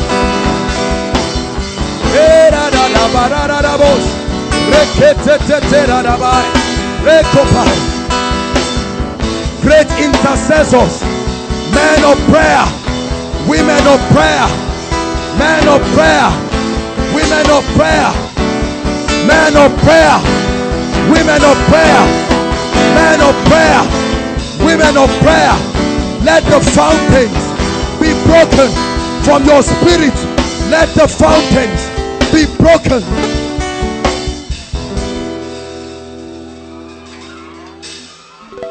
hallelujah sorry we are taking time we'll soon be out of here I want to release the healing anointing.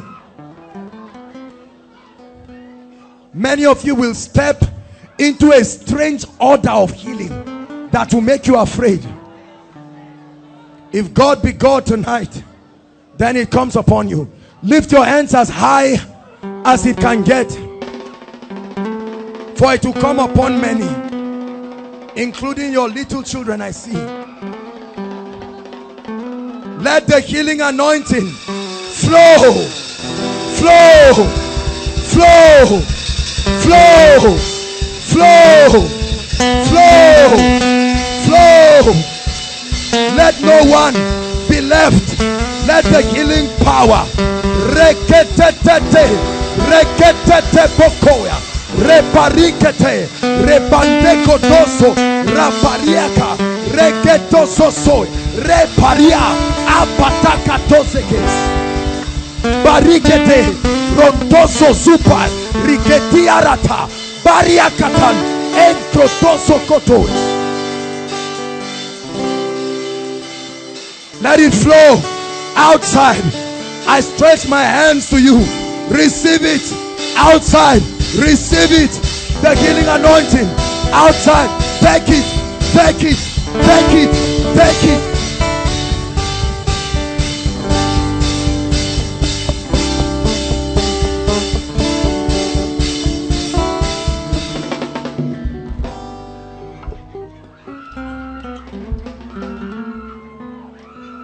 I want to pray over your finances. make sure you stand in for your loved ones. Enough of struggling it's not by power. Isaiah 45 verse 3 and i will give you the treasures of darkness and the hidden riches of secret places. Deuteronomy 8 18 but thou shalt remember the lord thy god for it is he that giveth thee the power the anointing there is the ability there is an anointing to prosper. Lift your hands everybody. Please receive it. Please please. We need it. I always do this. We need a prosperous generation. Standing for your loved ones. With this anointing let every debt i don't care how much for you and your family let every debt be cancelled. Receive it strong. I pray for you. Receive it strong. For the lord gave it to me. The lord gave it to me. And tonight for the love i have for you i declare receive it. Take it. Take it. Take it. Take it. Receive it let it flow. Prosperity in your business. Favor. The Esther anointing. The Esther anointing. I, I release it with all my heart. I release it. I release it. Strange order of wealth of favor of prosperity. Receive it. Receive it.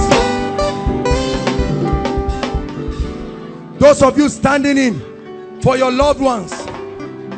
Those of you standing in for your loved ones. Families. If your family has suffered financially and you think enough is enough lift your hands. Lift your hands.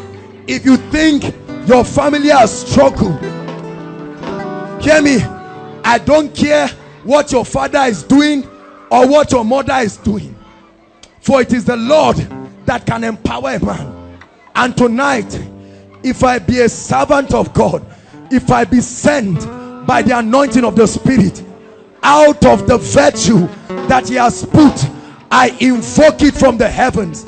Receive it now. Receive it now. Receive it now. Receive it. Receive it. Receive it. Receive it. Your families will enter a strange order of favor, a strange order of prosperity.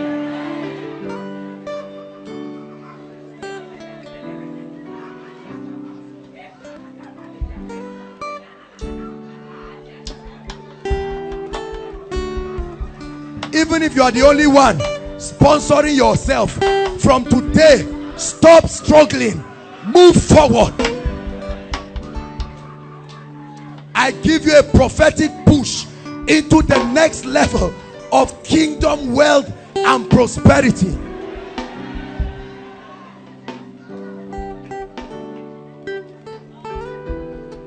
Hallelujah. Everything that represents a delay in your life, whether marriage, whether relationship, whether job, you are on a contract, they are supposed to sign it. They have not signed it. Right now makapa reketo rente kabariata aproskoperekete barika positai. Under this anointing i command every closed door be open in the name of jesus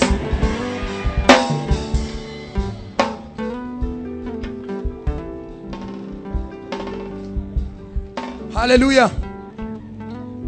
From tonight i declare that you will step into a level of favor. The bible says and jesus grew in wisdom in stature and in favor with god and with men. A strange order of favor where strangers including your enemies will work to bless you. Receive it receive it Receive it. Receive it. Receive it. All of you who are workers here, you have a job. All of you who are workers, it's time for the people around you to know that the Lord has honored you. Listen, we'll start with those who are lecturers. If you're a student here and your father is a lecturer or your mother, you can stand in for them. Want, I don't care what the system is from the Senate. We want to legislate certain things here by the prophetic order of God's Spirit. Lift your hands. You're a lecturer or you are standing in for a lecturer. Enough is enough. That anyone that has been due for promotion and has been delayed by the wickedness of men. The Bible says in Job 5, he will deliver you from the scourging tongues of men. For there is a, a God that can set a man down and lift another man up right now. Under this anointing of the Spirit.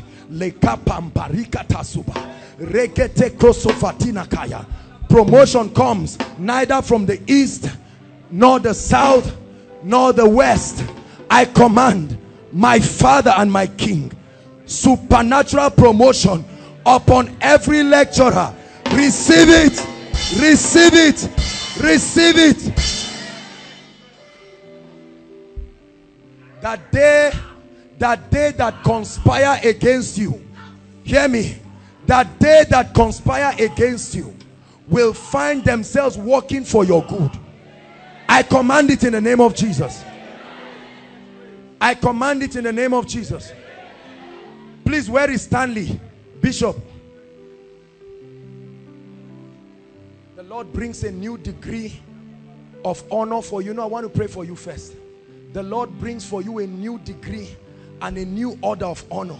The Lord says, I should tell you, for the times of faithfulness have been measured, and your faithfulness is speaking. A strange order of honor is what the Lord brings. And I pray in the name of Jesus, let this strange anointing come upon you and mantle you to bring you honor beyond your imagination. In the name of the Lord Jesus Christ. We have to round up quickly. Please, there is an important announcement we are going to communicate right now. Hallelujah. You're here, you're not born again. You've not given your heart to the Lord. Hallelujah. You have not given your heart to the Lord in the name of Jesus. The Bible says, for God so loved the world that he gave his one and only begotten son that whosoever believes in him should not perish but have eternal life. I pray right now, listen to me, inside and outside, you are here and you are not born again. We love you. The Lord does not condemn you. It's time for you to come home and start a new life with the Lord. Inside and outside. Or you have given your heart to the Lord. But you have found yourself derailing from the path of the Spirit. Right now in the name of Jesus, I encourage you. Please, let's all rise before we sit down. Let's all rise. Everyone come out quickly and stand. Everyone who belongs in that category. You want to give your heart to the Lord or you are making a commitment, please appreciate them as they come. Appreciate them. Leave your seat inside and outside. This is the greatest miracle. Appreciate them. The Lord is talking to you. You are welcome. You're welcome. You're welcome. You're welcome. Welcome them. We welcome you home. You're welcome home. You're welcome home. No man condemns you. God is still speaking to some other people. You are welcome. We will wait for you. You are welcome. You are welcome. You are welcome.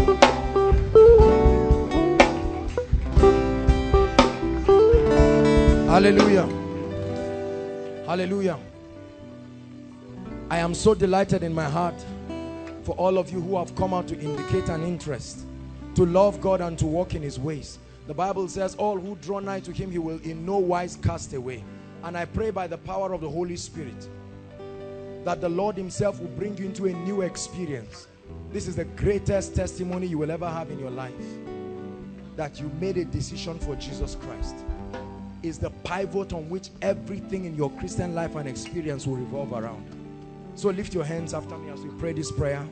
Say after me in the name of Jesus. I declare that I'm born again. I denounce sin and Satan.